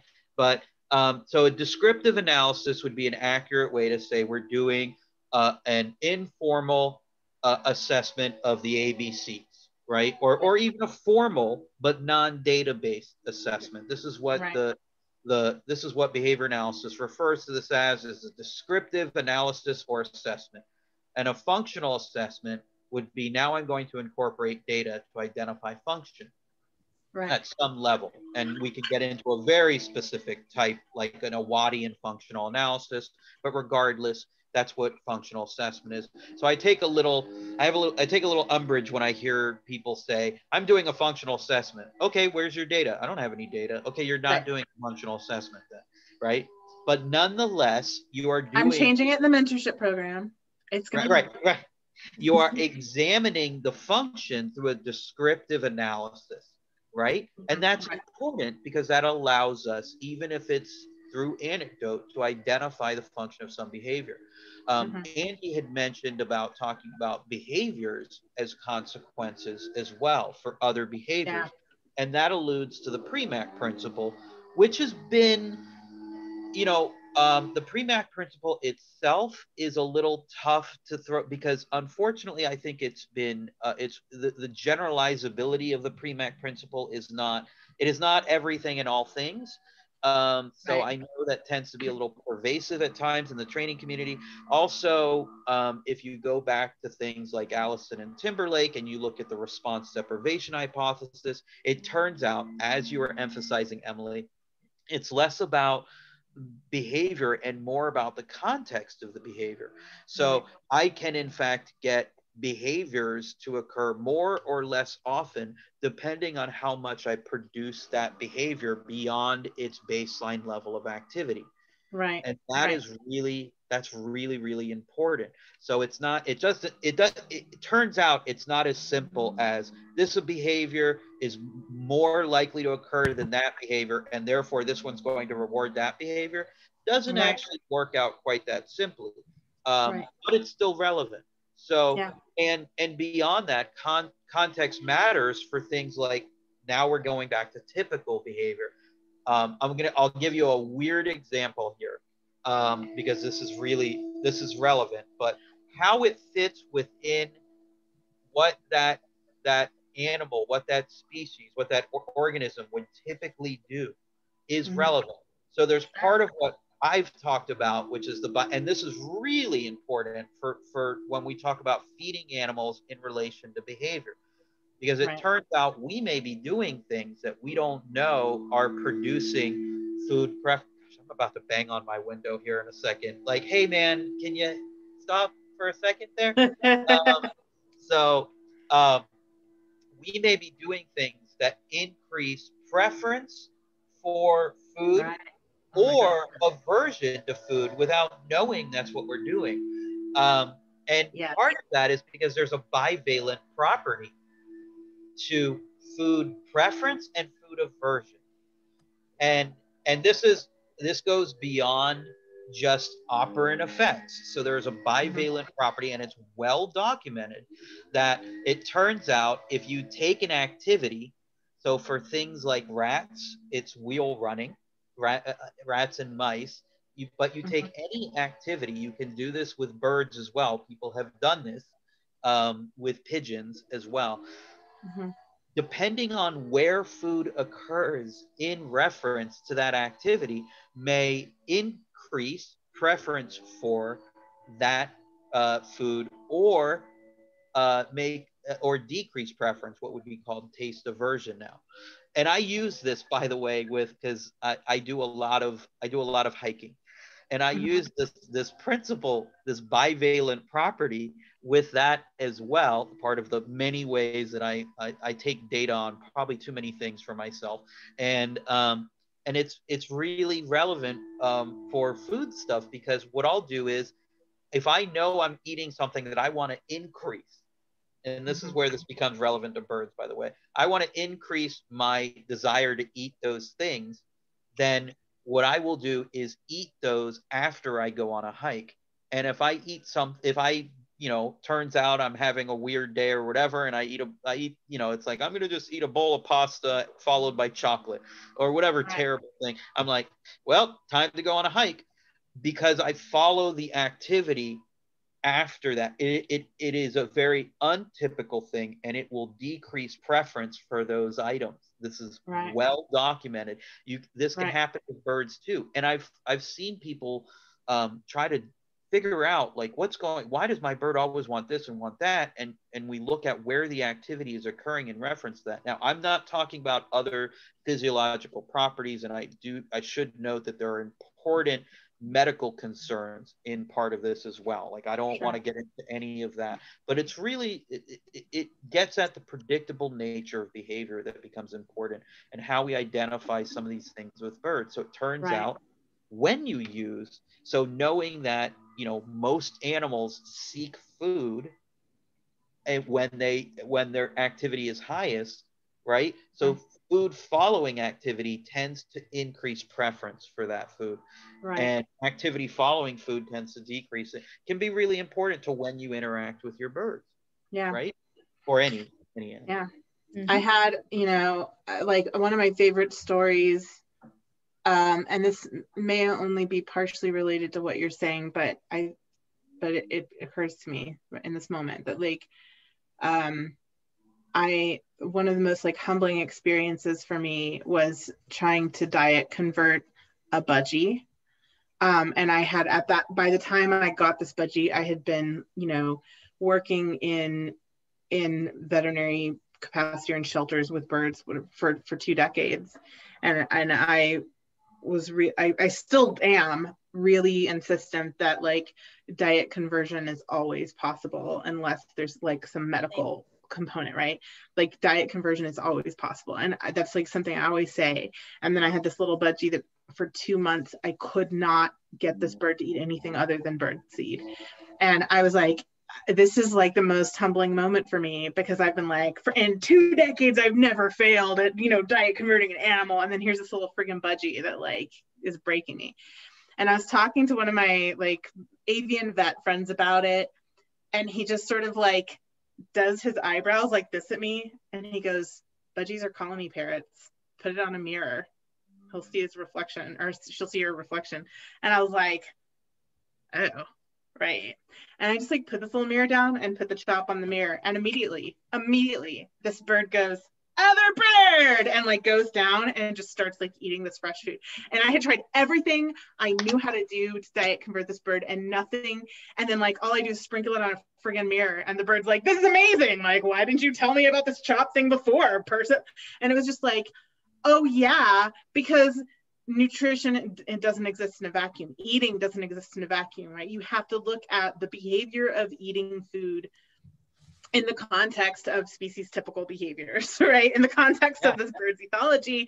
And like and it just was this moment for me where i was like i had i had been focusing on all of these ways to like you know gradually get the food introduced. And it never occurred to me to look as eating at eating as a behavior in the context of species typical behaviors. Right. Right. And so that really was a shift for me. And now when I'm diet converting any animal, that's always something that is in the back of my mind is what how does this animal how has this animal been designed to eat? right. And let's look at that. So yeah. Yeah, that's, yeah, that's a good point. My little anecdote related to what we were talking about. Yeah, no, that's that's that's really yeah, it's that's really wonderful. It's really excellent for for making that that similar point which and also getting at the importance of the individual in these assessments. Right. so it's not just that like it, behavior is predictable but also behaviors it's individualized. So and it, it's it's the the organism matters for both the species and the individual. So and if there's one thing i think the greatest contribution that uh, behavior analysis is made to the field of animal behavior um, happens to be, and it, it, goes beyond even saying assessments of reinforcer. Honestly, I think the greatest contribution for applied animal behavior is its focus on individual performance. Mm-hmm. And by that, I mean empirically measuring what occurs for individuals and being able to predict based on the mm-hmm. way that that is done. So knowing for any I, there is no greater tool for assessing the behavior of an individual than within subject methodology. There is just no greater tool. And it's still i think it's unfortunate that many academic journals are very um, opposed to the use of within subject measures, and then equally that they're not used enough by consultants, behaviorists. You know, this is I still haven't gotten to this point where where uh, I'm trying to help non-academic people use data in some way that's relevant to their lives and their consultations, because mm-hmm. that's it's an incredible tool. But we, right. you know, it's important to know these things. Yeah. So, yeah. yeah. Absolutely. I totally agree with you on that. Yeah. I mean, and this stuff too is how we like shift people's thinking about like how do you get your pet, whether it's a bird or any other species, to take their medication, right? Yeah. Or how you know what I mean? Like, how do you get them to be comfortable with um, this idea of like this thing that may not be delicious to you now, but I want you to learn how to just ingest this, right? Yeah. Um, so there's a lot of like pra- I mean, not that anything that you're saying isn't practical, right? But I mean, like, there's so there's, what I'm what I meant to say. I started that sentence and I was like, that's not what I mean. What I meant to say I, is I say are... a lot of non-practical things, though. So let's be clear about that. My my my my science is the answer for everything is not the most practical, but that's part of what I rely on on people like. Uh, and I sorry, I'm interrupting your train of oh, thought. Okay but um, uh, so I rely on on people like both you know both you and and Stephanie to help me find ways to make science you know or more specifically data empiricism more practical um, mm-hmm. because I think that's so. Anyway, I, am going to shut up because I, I just wanted to oh, interrupt no. by saying I'm not very practical in many ways.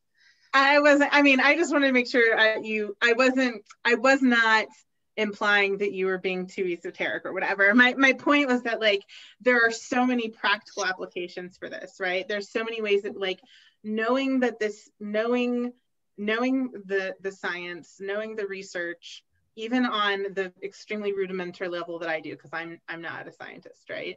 Um, so like my, so knowing this stuff and learning learning these concepts is really important because when you get when you start learning this stuff you can see how to like draw this down into this very specific real life problem that you have like how do i get my bird to take their medication right how do i get my bird to eat this healthier diet that the vet wants me my bird to eat like yeah. that stuff like when you know this the the research that exists and the and the the kind of principles underlying all this stuff, then you can kind of draw it down into the real world in these very specific ways that really matter to people, right? Yeah. Um, yep, that's the, but, that's the beauty of it. Yeah. And and when you just start thinking about behavior as observable, predictable things, right? So these right. are variables that I can observe and predict, and that are functional, that are contextual, Right. That is absolutely critical. So instead of just, you know, when I I look at my let's go to cockatoos now. Now, you know what? Let's not talk about cockatoos again. Let's talk okay. about let's let's let's mention auks. Um, so I look at my auk. I look no, we're not gonna say it in auk. I was gonna uh, so we look at we look at uh, what's a what's a good bird that I can use e- the emu. So no, that's a terrible example. Um, so anyway, we look at a, I'm not even going to give a species, but we look at the bird in this situation and we say, well, my bird is, you know, he's angry with me. He is, he is mm-hmm. upset. He's just, he's doing that to make me mad. He's mm-hmm. doing this. And, and there, there, there, there's a, there can be a kernel of truth in that, but it's mm-hmm. difficult to decipher if that is our level of interpretation is right. we're just, you know, so, okay, but I don't know how to resolve this. Like, how do we, can we use our language in a way that makes this more likely for us to be able to both understand the function of that current behavior and change its future occurrence? So, yeah. oh, Oh, I was gonna have ravens. Um, we can talk about. I'm I'm never not mad at talking about corvids. I am never gonna say no to corvids. Oh, we're, I'm not gonna forgive Stephanie for her last corvid pun, um, but um, what the murder mystery? Yes, a good one. Okay. That was that I'm was proud. That, that was foul. Was, oh. No, that was worse. Um, that one was worse. That yeah, one was, that was definitely worse. worse. That was my pun. so, um, but yeah, so uh, and and all, all the corvids are, are great examples of i've never worked directly with i had to stop and think about that for a second nope i've never worked with any corvid species directly um, i've never had a lot of interaction uh, oh. I with, love them. With captive corvids. Um, I love I them so much. They're special, for yeah. sure. But I love, you know, like, uh, yeah, they're they're great. Mm-hmm. Um, they're amazing. Um, so, uh, but it becomes even that much for something like corvids. It can become that much easier and that much more problematic to sit there and impute the intent of the animal and focus on that Right. instead of the observable behavior Right. Yep. right so Yes. and it sure. doesn't aid us in identifying i mean this is the only uh, i language i treat as as functional right i'm the the thing that i am most concerned about with any type of language is not just it's not are you using this this terminology but does that terminology have a proper function that's the Mhm. point of the language can we effectively communicate about the function of this behavior and Mhm. how to intervene upon it Mhm. so Right. you know that's the relevant component and we have to you know when we're talking about bird behavior i think it can become very tempting to get away from that observable uh, uh, behavior in a way Yeah. that may be deceptive um, Yeah. for Right. understanding extremely so i mean just look at any like pretty much any if you want to learn about say parrot body language for example look up any web page about it and what you will have is like a picture of a bird doing something and saying this bird thinks that this is fun or this bird doesn't want to do this or this bird is happy Right. because well and it's like yeah no that's that's not how that works um so so yeah um I, I I can't say more than I agree. I agree so much. I made a whole freaking website thing. Website, it. which we're waiting for the website to go live because some live. have students. It is. Yes, I told you. Oh, it's just you? not finished, but oh, like it's not finished. Oh, okay. All I mean, well, it's up. It, it needs it needs a lot of proof proofing, and I still need to add stuff. But but it is there. And uh, Well, excellent. So I am gonna start using it then because that's amazing. Yeah. Um, yeah. So like, here's here's the thing that I um want to want to talk about slash ask about because I do say things all the time. Um, and sometimes more or less facetiously depending on the context. Like for instance kaya just talks for the joy of talking right? And i and and I like what i mean like she's not trying to communicate with me. She's she's just chattering. And what i mean by that is like when she has these moments where she's just kind of repeating things it's during a time in the day when she's not actively working towards food and she is comfortably kind of nestled. So that looks like you know keel resting on the top of her feet with her feathers loose and be you know what i mean? Like yeah yeah yeah so yeah. so like she's she's she's always chattering in these contexts of like it's not a time of the day when she's working to get food or make a nest or whatever. And she just sits there and she just sort of chatters and you know whatever. So i say she talks for the joy of talking. And and like i the th- where the kind of like place that i kind of emotionally sit on this is like we can talk about what are the actual reinforcers we don't actually know what's reinforcing the behavior. Um, we don't actually know the motivation. I'm a kind of implying i'm sort of like laying that on her. But on a real world practical level if you if you like nitpick that and i and i nitpick has like a kind of a pejorative term that i, I don't or like a negative connotation that What i do you don't mean? mean but like Yeah. but like if you sort of like try to like say that to a client or to just like a random person they're like oh my god shut up. I don't care. Like i don't fucking care. Like you know what i mean? Like i just want to say Yeah. that my bird is doing it for the joy of doing it. So but like if i say that to a colleague i can't tell you how many times i get corrected. And and so like here's where i sit with that is like how much do we as professionals have a responsibility to like speak accurately in those situations when we're describing behavior because like because it's our job? And how much are we allowed to sometimes just be like my bird is being an asshole and i hate him you know what i mean? And this is sort of something that i sort of like vacillate on quite a bit that it is a really really Yeah. important point. It's a really important conversation. And i i, I will I, i'll give you a little bit of history here um, to, to start which is so i you know i come from an academic background.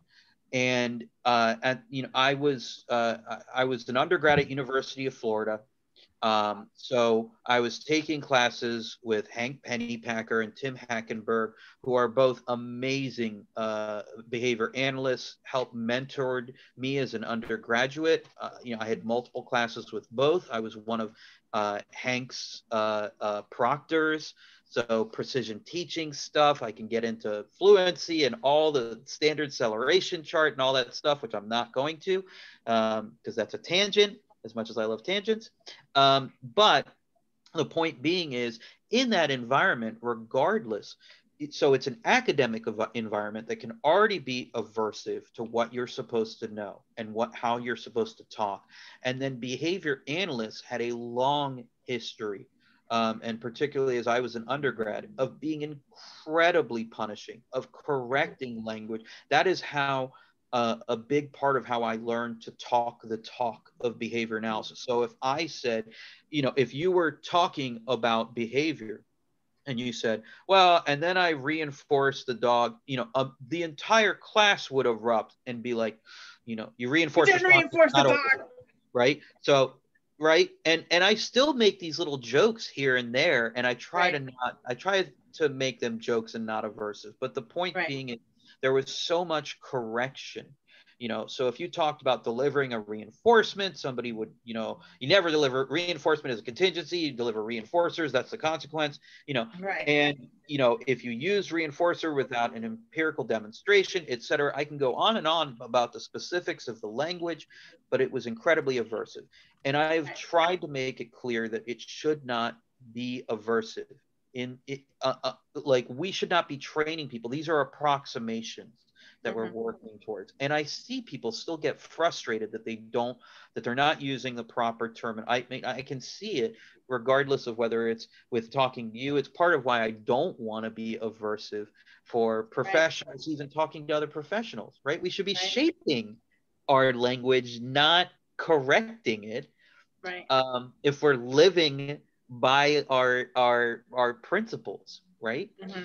so i don't have a great answer is the simple point other than you know i like to ask people like hey i see you struggling you know with how can i make this easier for you like i do this mm-hmm. with students all the time you know if it, it, what do you like and and i i i do a lot less of of tacting what that necessarily is and a lot more of just rewarding when i see when they say the thing the right way and try to be rewarding and then you know mm-hmm. just may can we get there? But it, there's another component to that which is how do them how do people talk to their clients? So this is just between professionals to professional.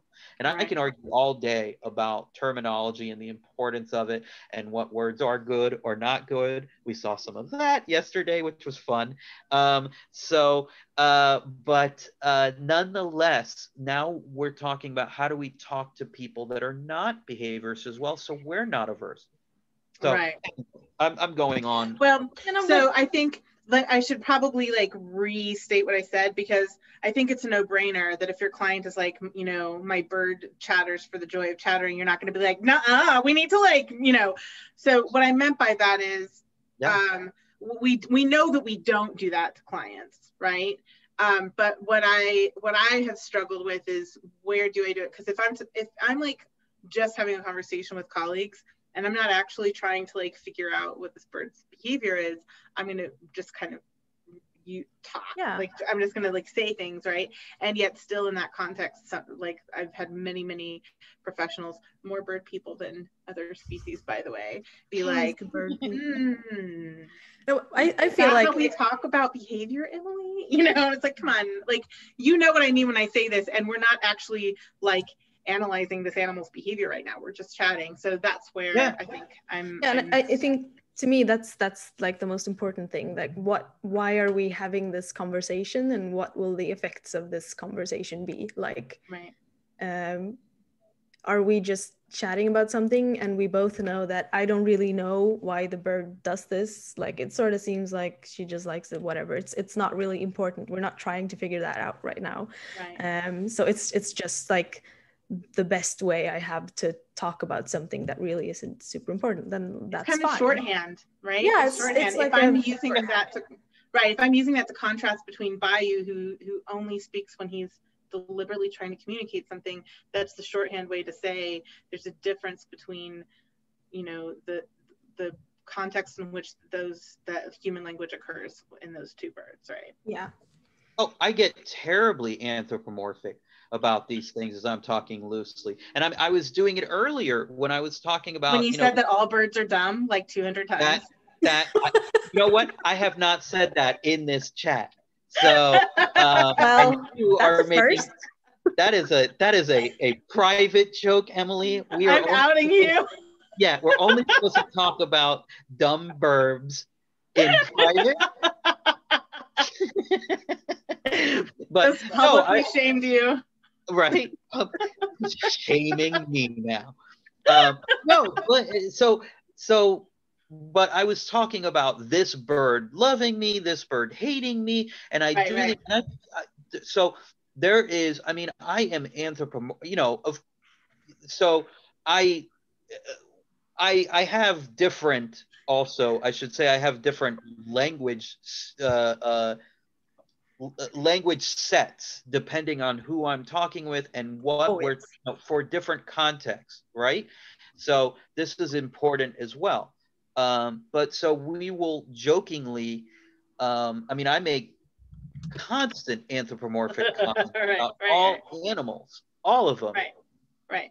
Uh, so uh, and I talk about yeah that animal you know like oh yeah that that bear hates you oh yeah yeah yeah that bear kill you. And I'm I'm making these jokes and comments and it's important to have that. You know um, one of these in one of these virtual chats we had um, you know a few months ago where uh, Ava and Stephanie you're gonna have to t- am I saying Bertilsson Am I, tell me how to.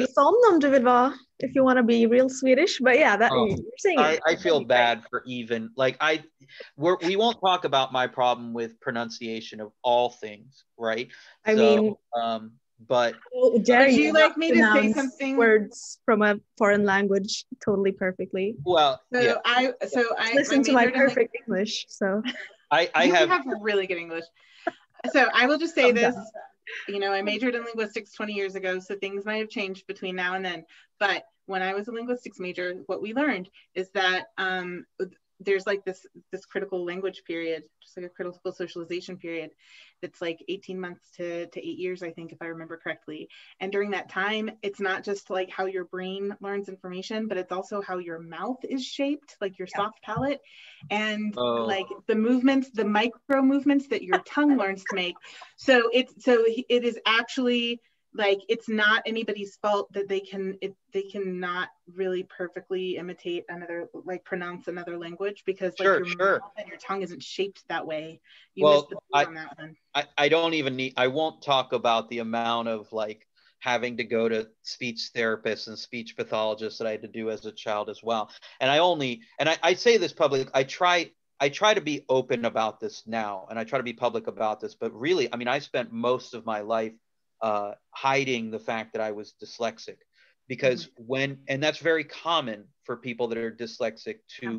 to know that that you are treated as somehow being dumb and i and right. i like to say it now i like to let people know because i think a lot of people go dude you're a doctor you know that kind of thing and like i i it's very few times in my life that i've had somebody actually you know treat me as if i was not smart and yet it was a fear for me so i only imagine what it can be like for other people that that are dyslexic at yeah. some level you know that that aren't i was always treated like one of the smartest kids in the room and i was afraid of being treated dumb right. so um yeah you know, yeah. and I, I would not acknowledge it. I would not be open, but nonetheless. So uh, that's an aside, but it's in, it's important. I like to be pub. I like to be open about that in public about that because you will see mm-hmm. me, and I have terrible times. I, I I I have no idea how to pronounce any word that I see on paper if I've never if I've never heard it, and I have to memorize yeah. it.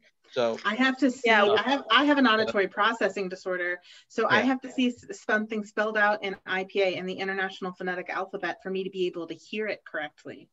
Yeah. So that's an added layer of weirdness. Is like, I and that's how I learned. Actually, like that's how I learned languages in college when I was, you know, a linguistics major and you have to learn languages. I would like literally look up everything in IPA and then I could pronounce it because I Yeah. couldn't hear it before I saw it.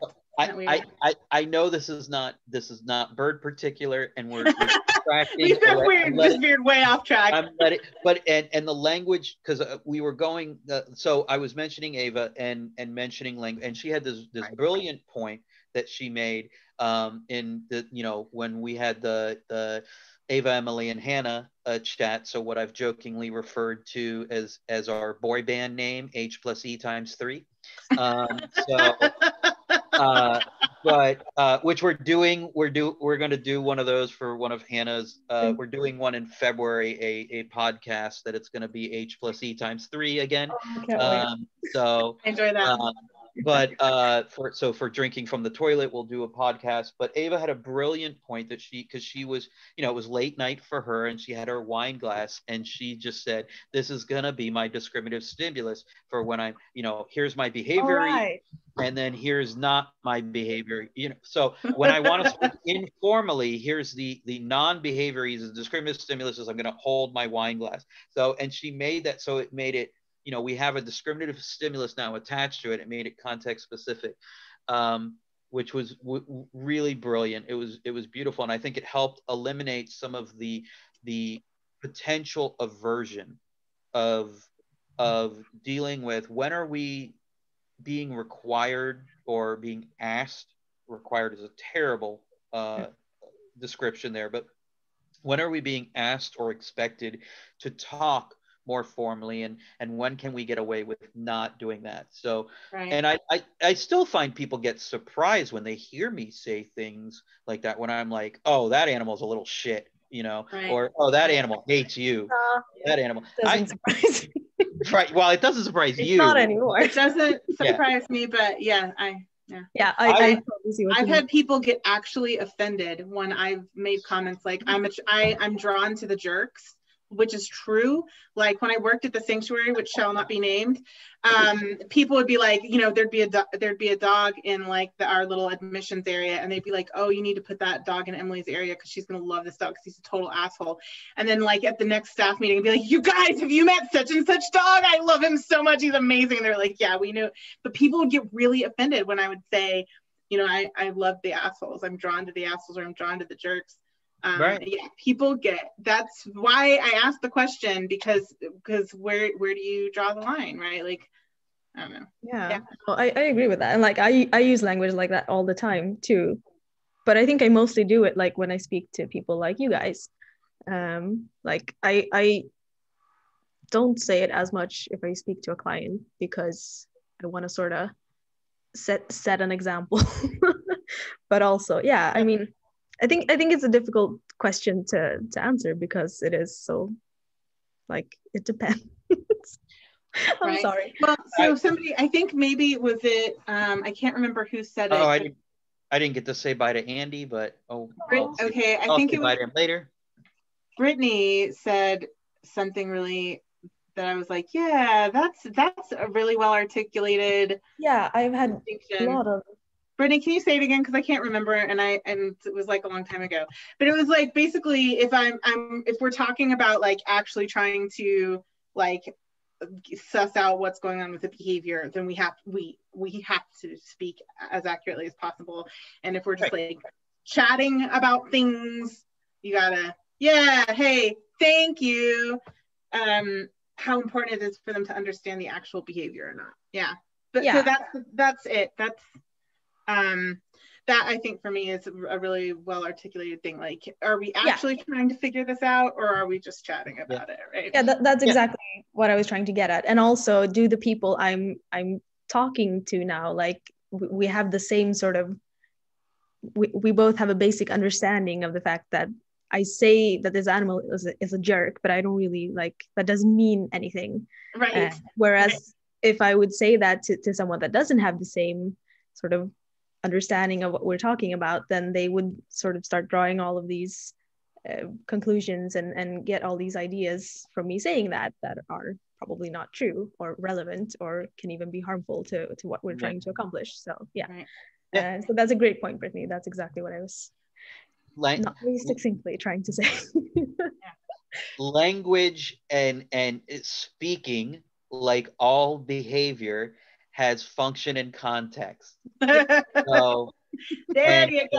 that- the wisdom. that's it so what are we what are we trying to do when we say the things that we say like what what are Mhm. we trying to what's what behavior in someone else are we trying to change by saying this thing and you know what one of the the funny things i'll say and i'll, I'll, I'll just say this briefly here is that um, i language both in my own damn head and what i say out loud is was one of those last bastions for me of where i often did not apply much of my own behavior analytic training.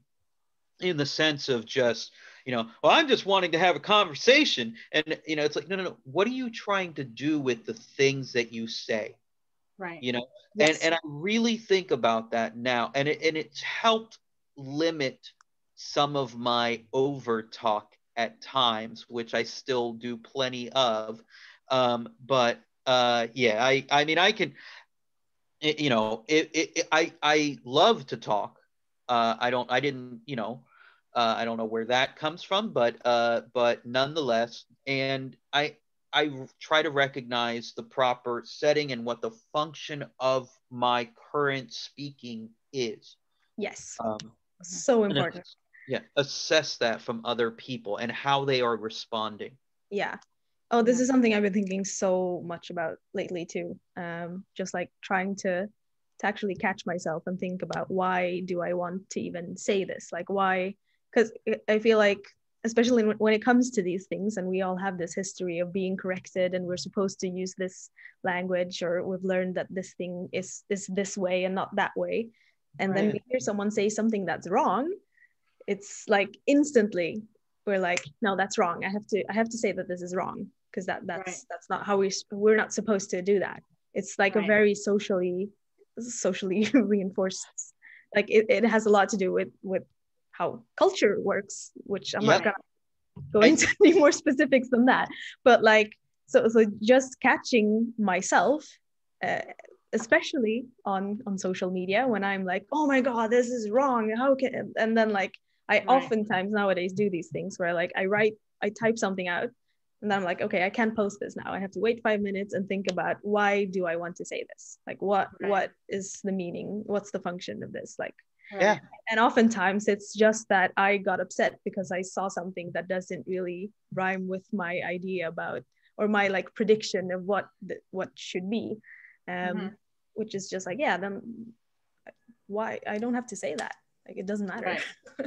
Right. I, I why does that matter so yeah um I, it's it's particularly useful when and I know it's weird for some people to to think of me as having because they they're used to hearing me be so formal and it's like and they don't hear me like around my family or my old friends and so Right. for when they think of you know oh you have different language sets and then they all realize too it's like oh you have code speak you know and they start realizing I'm like dude it's like you don't get a name like Eduardo Jose Fernandez and and not have code speak okay man? I grew up pretty traditional.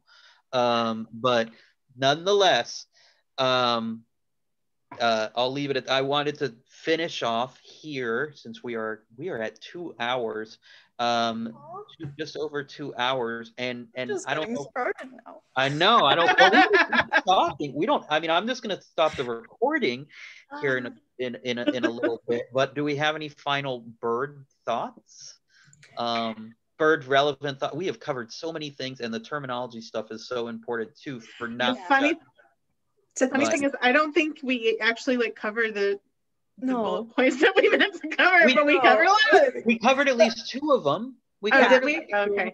Yeah. and just just to add to that i was thinking um i'm gonna post a link to the the resource i was i just mentioned uh, in the chat in case someone wants to take a look at it Yeah, yeah, yeah. That's what I was gonna. our amazing bird body language website. yeah. so yeah um let's add let's add links here in the chat to everyone and uh, it would also help if you gave a little bit to google that you know you don't have to give the full link but so that because people aren't seeing the chat in Yeah. video Uh, if you just visit understandingparrots.com, then there's you can click your way into understanding parrot body language.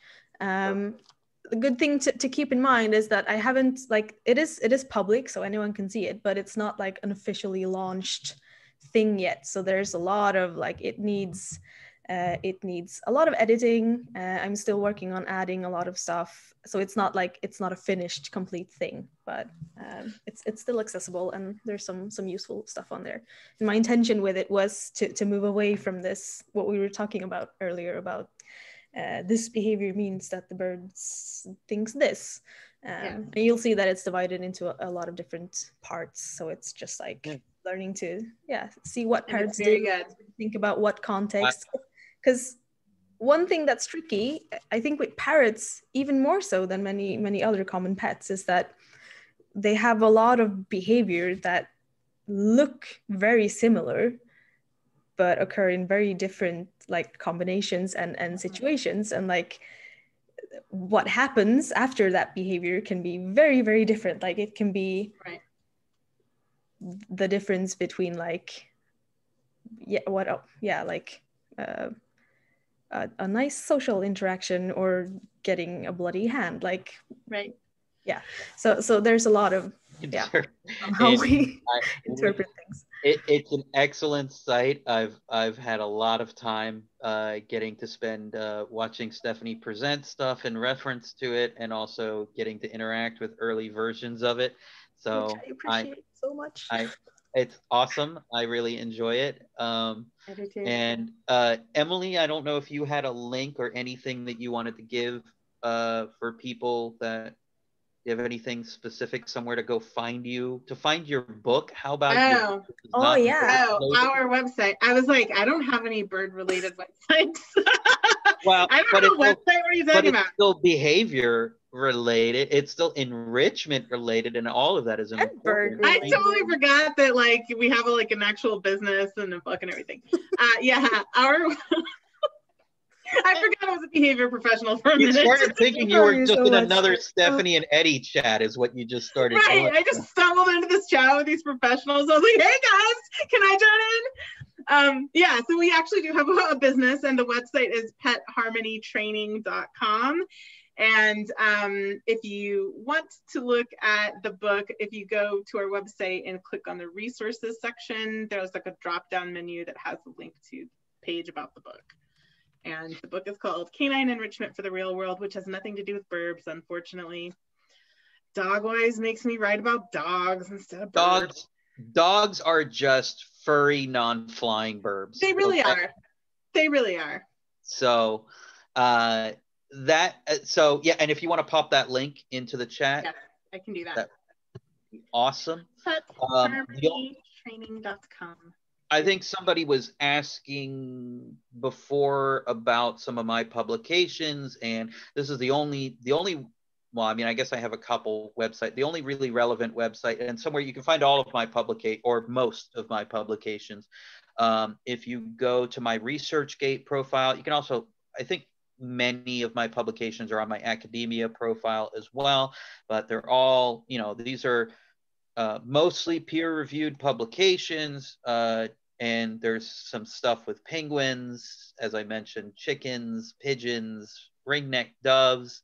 Um, here, there's the link. So if you go to, if you just search for me on, if you go to researchgate.net, which is a great website for finding academic profiles in general, if you're you can get access to a lot of uh, papers that otherwise, so academic peer reviewed papers that otherwise wouldn't be publicly accessible. And if you search for Eduardo Fernandez, you'll find me there on researchgate.net, or there's the link right there. And you can see some of those. I was about to say, how many birds have I published papers on? I think four going on five species of birds. That's I think all I've got published publication wise. I don't have anything with gosh, I don't have anything with any of the Passeriforms. I just had to think about that for a 2nd mm-hmm. Columbiforms, um, the penguins, the Sphenisciforms, which um, you know are great. I don't why don't I have anything with owls either? That's on on my to do list to Um, get a publication with owls. I Do you have any on pit with parrots? I don't. I don't. But I'm. I'm? I know. You know what? Honestly, like I adore, I adore the psittacines, but I'll tell you, uh, you know, they mystify me, and I'm, I'm not, like I, I, I'm very much looking forward to getting to see them in the wild, in in Australia. Um, but I don't have a strong inclination to necessarily Like, there's a lot of other birds ahead of that list than the psittacines uh, Okay. for wanting to work with All just right. because there's been so much there you know and i love and, and look i no, no, I, it's fine. I know i know. And i was going to say unfriending you as we speak. It's fine. right right right. Uh, uh, fair enough. Um, i adore i ad- i adore irene pepperberg. She's wonderful. I um like she's great. I i, I got to have dinner with her years ago um and she's uh, been amazing in, in interacting it with emails and things like that. But i'm not a big you know animal cognition guy um, so uh, i'm very kind of old school behavioral um, when it comes to the behavior stuff and uh, and most of my stuff my applied animal stuff which is 90 plus percent of everything is all welfare related. So but i love seeing irene's stuff and what she's done with her gray parrots um, and she's great but people i think there's the assumption often that if you're going to do something with psittacines there's going to be some component of animal cognition with it. Then again i've done a lot of primate stuff. I mean i've published stuff on like a half a dozen primates and people always look for you know well where's that? I, i've had people try to force me into talking about um, golden lion tamarin stuff as uh, well where's this is cognitive enrichment. I'm like no, no no it's not. It's just it's enrichment. We'll talk about it as ex situ enrichment but nonetheless again i'm in a future conversation or maybe after the recording has stopped i would love to actually ask you some questions about these subcategories that people have for enrichment like cognitive enrichment and environmental Right. enrichment right um because i have so many questions about that but i know we're like Yeah. 12 over time so like yeah no no worries i mean not today maybe but we got everything i think uh, so i'm just going to go ahead and turn off the recording and we can sit here for a little bit here but thank you for everyone that's still watching this that will Yeah. be watching it via youtube. Thank you for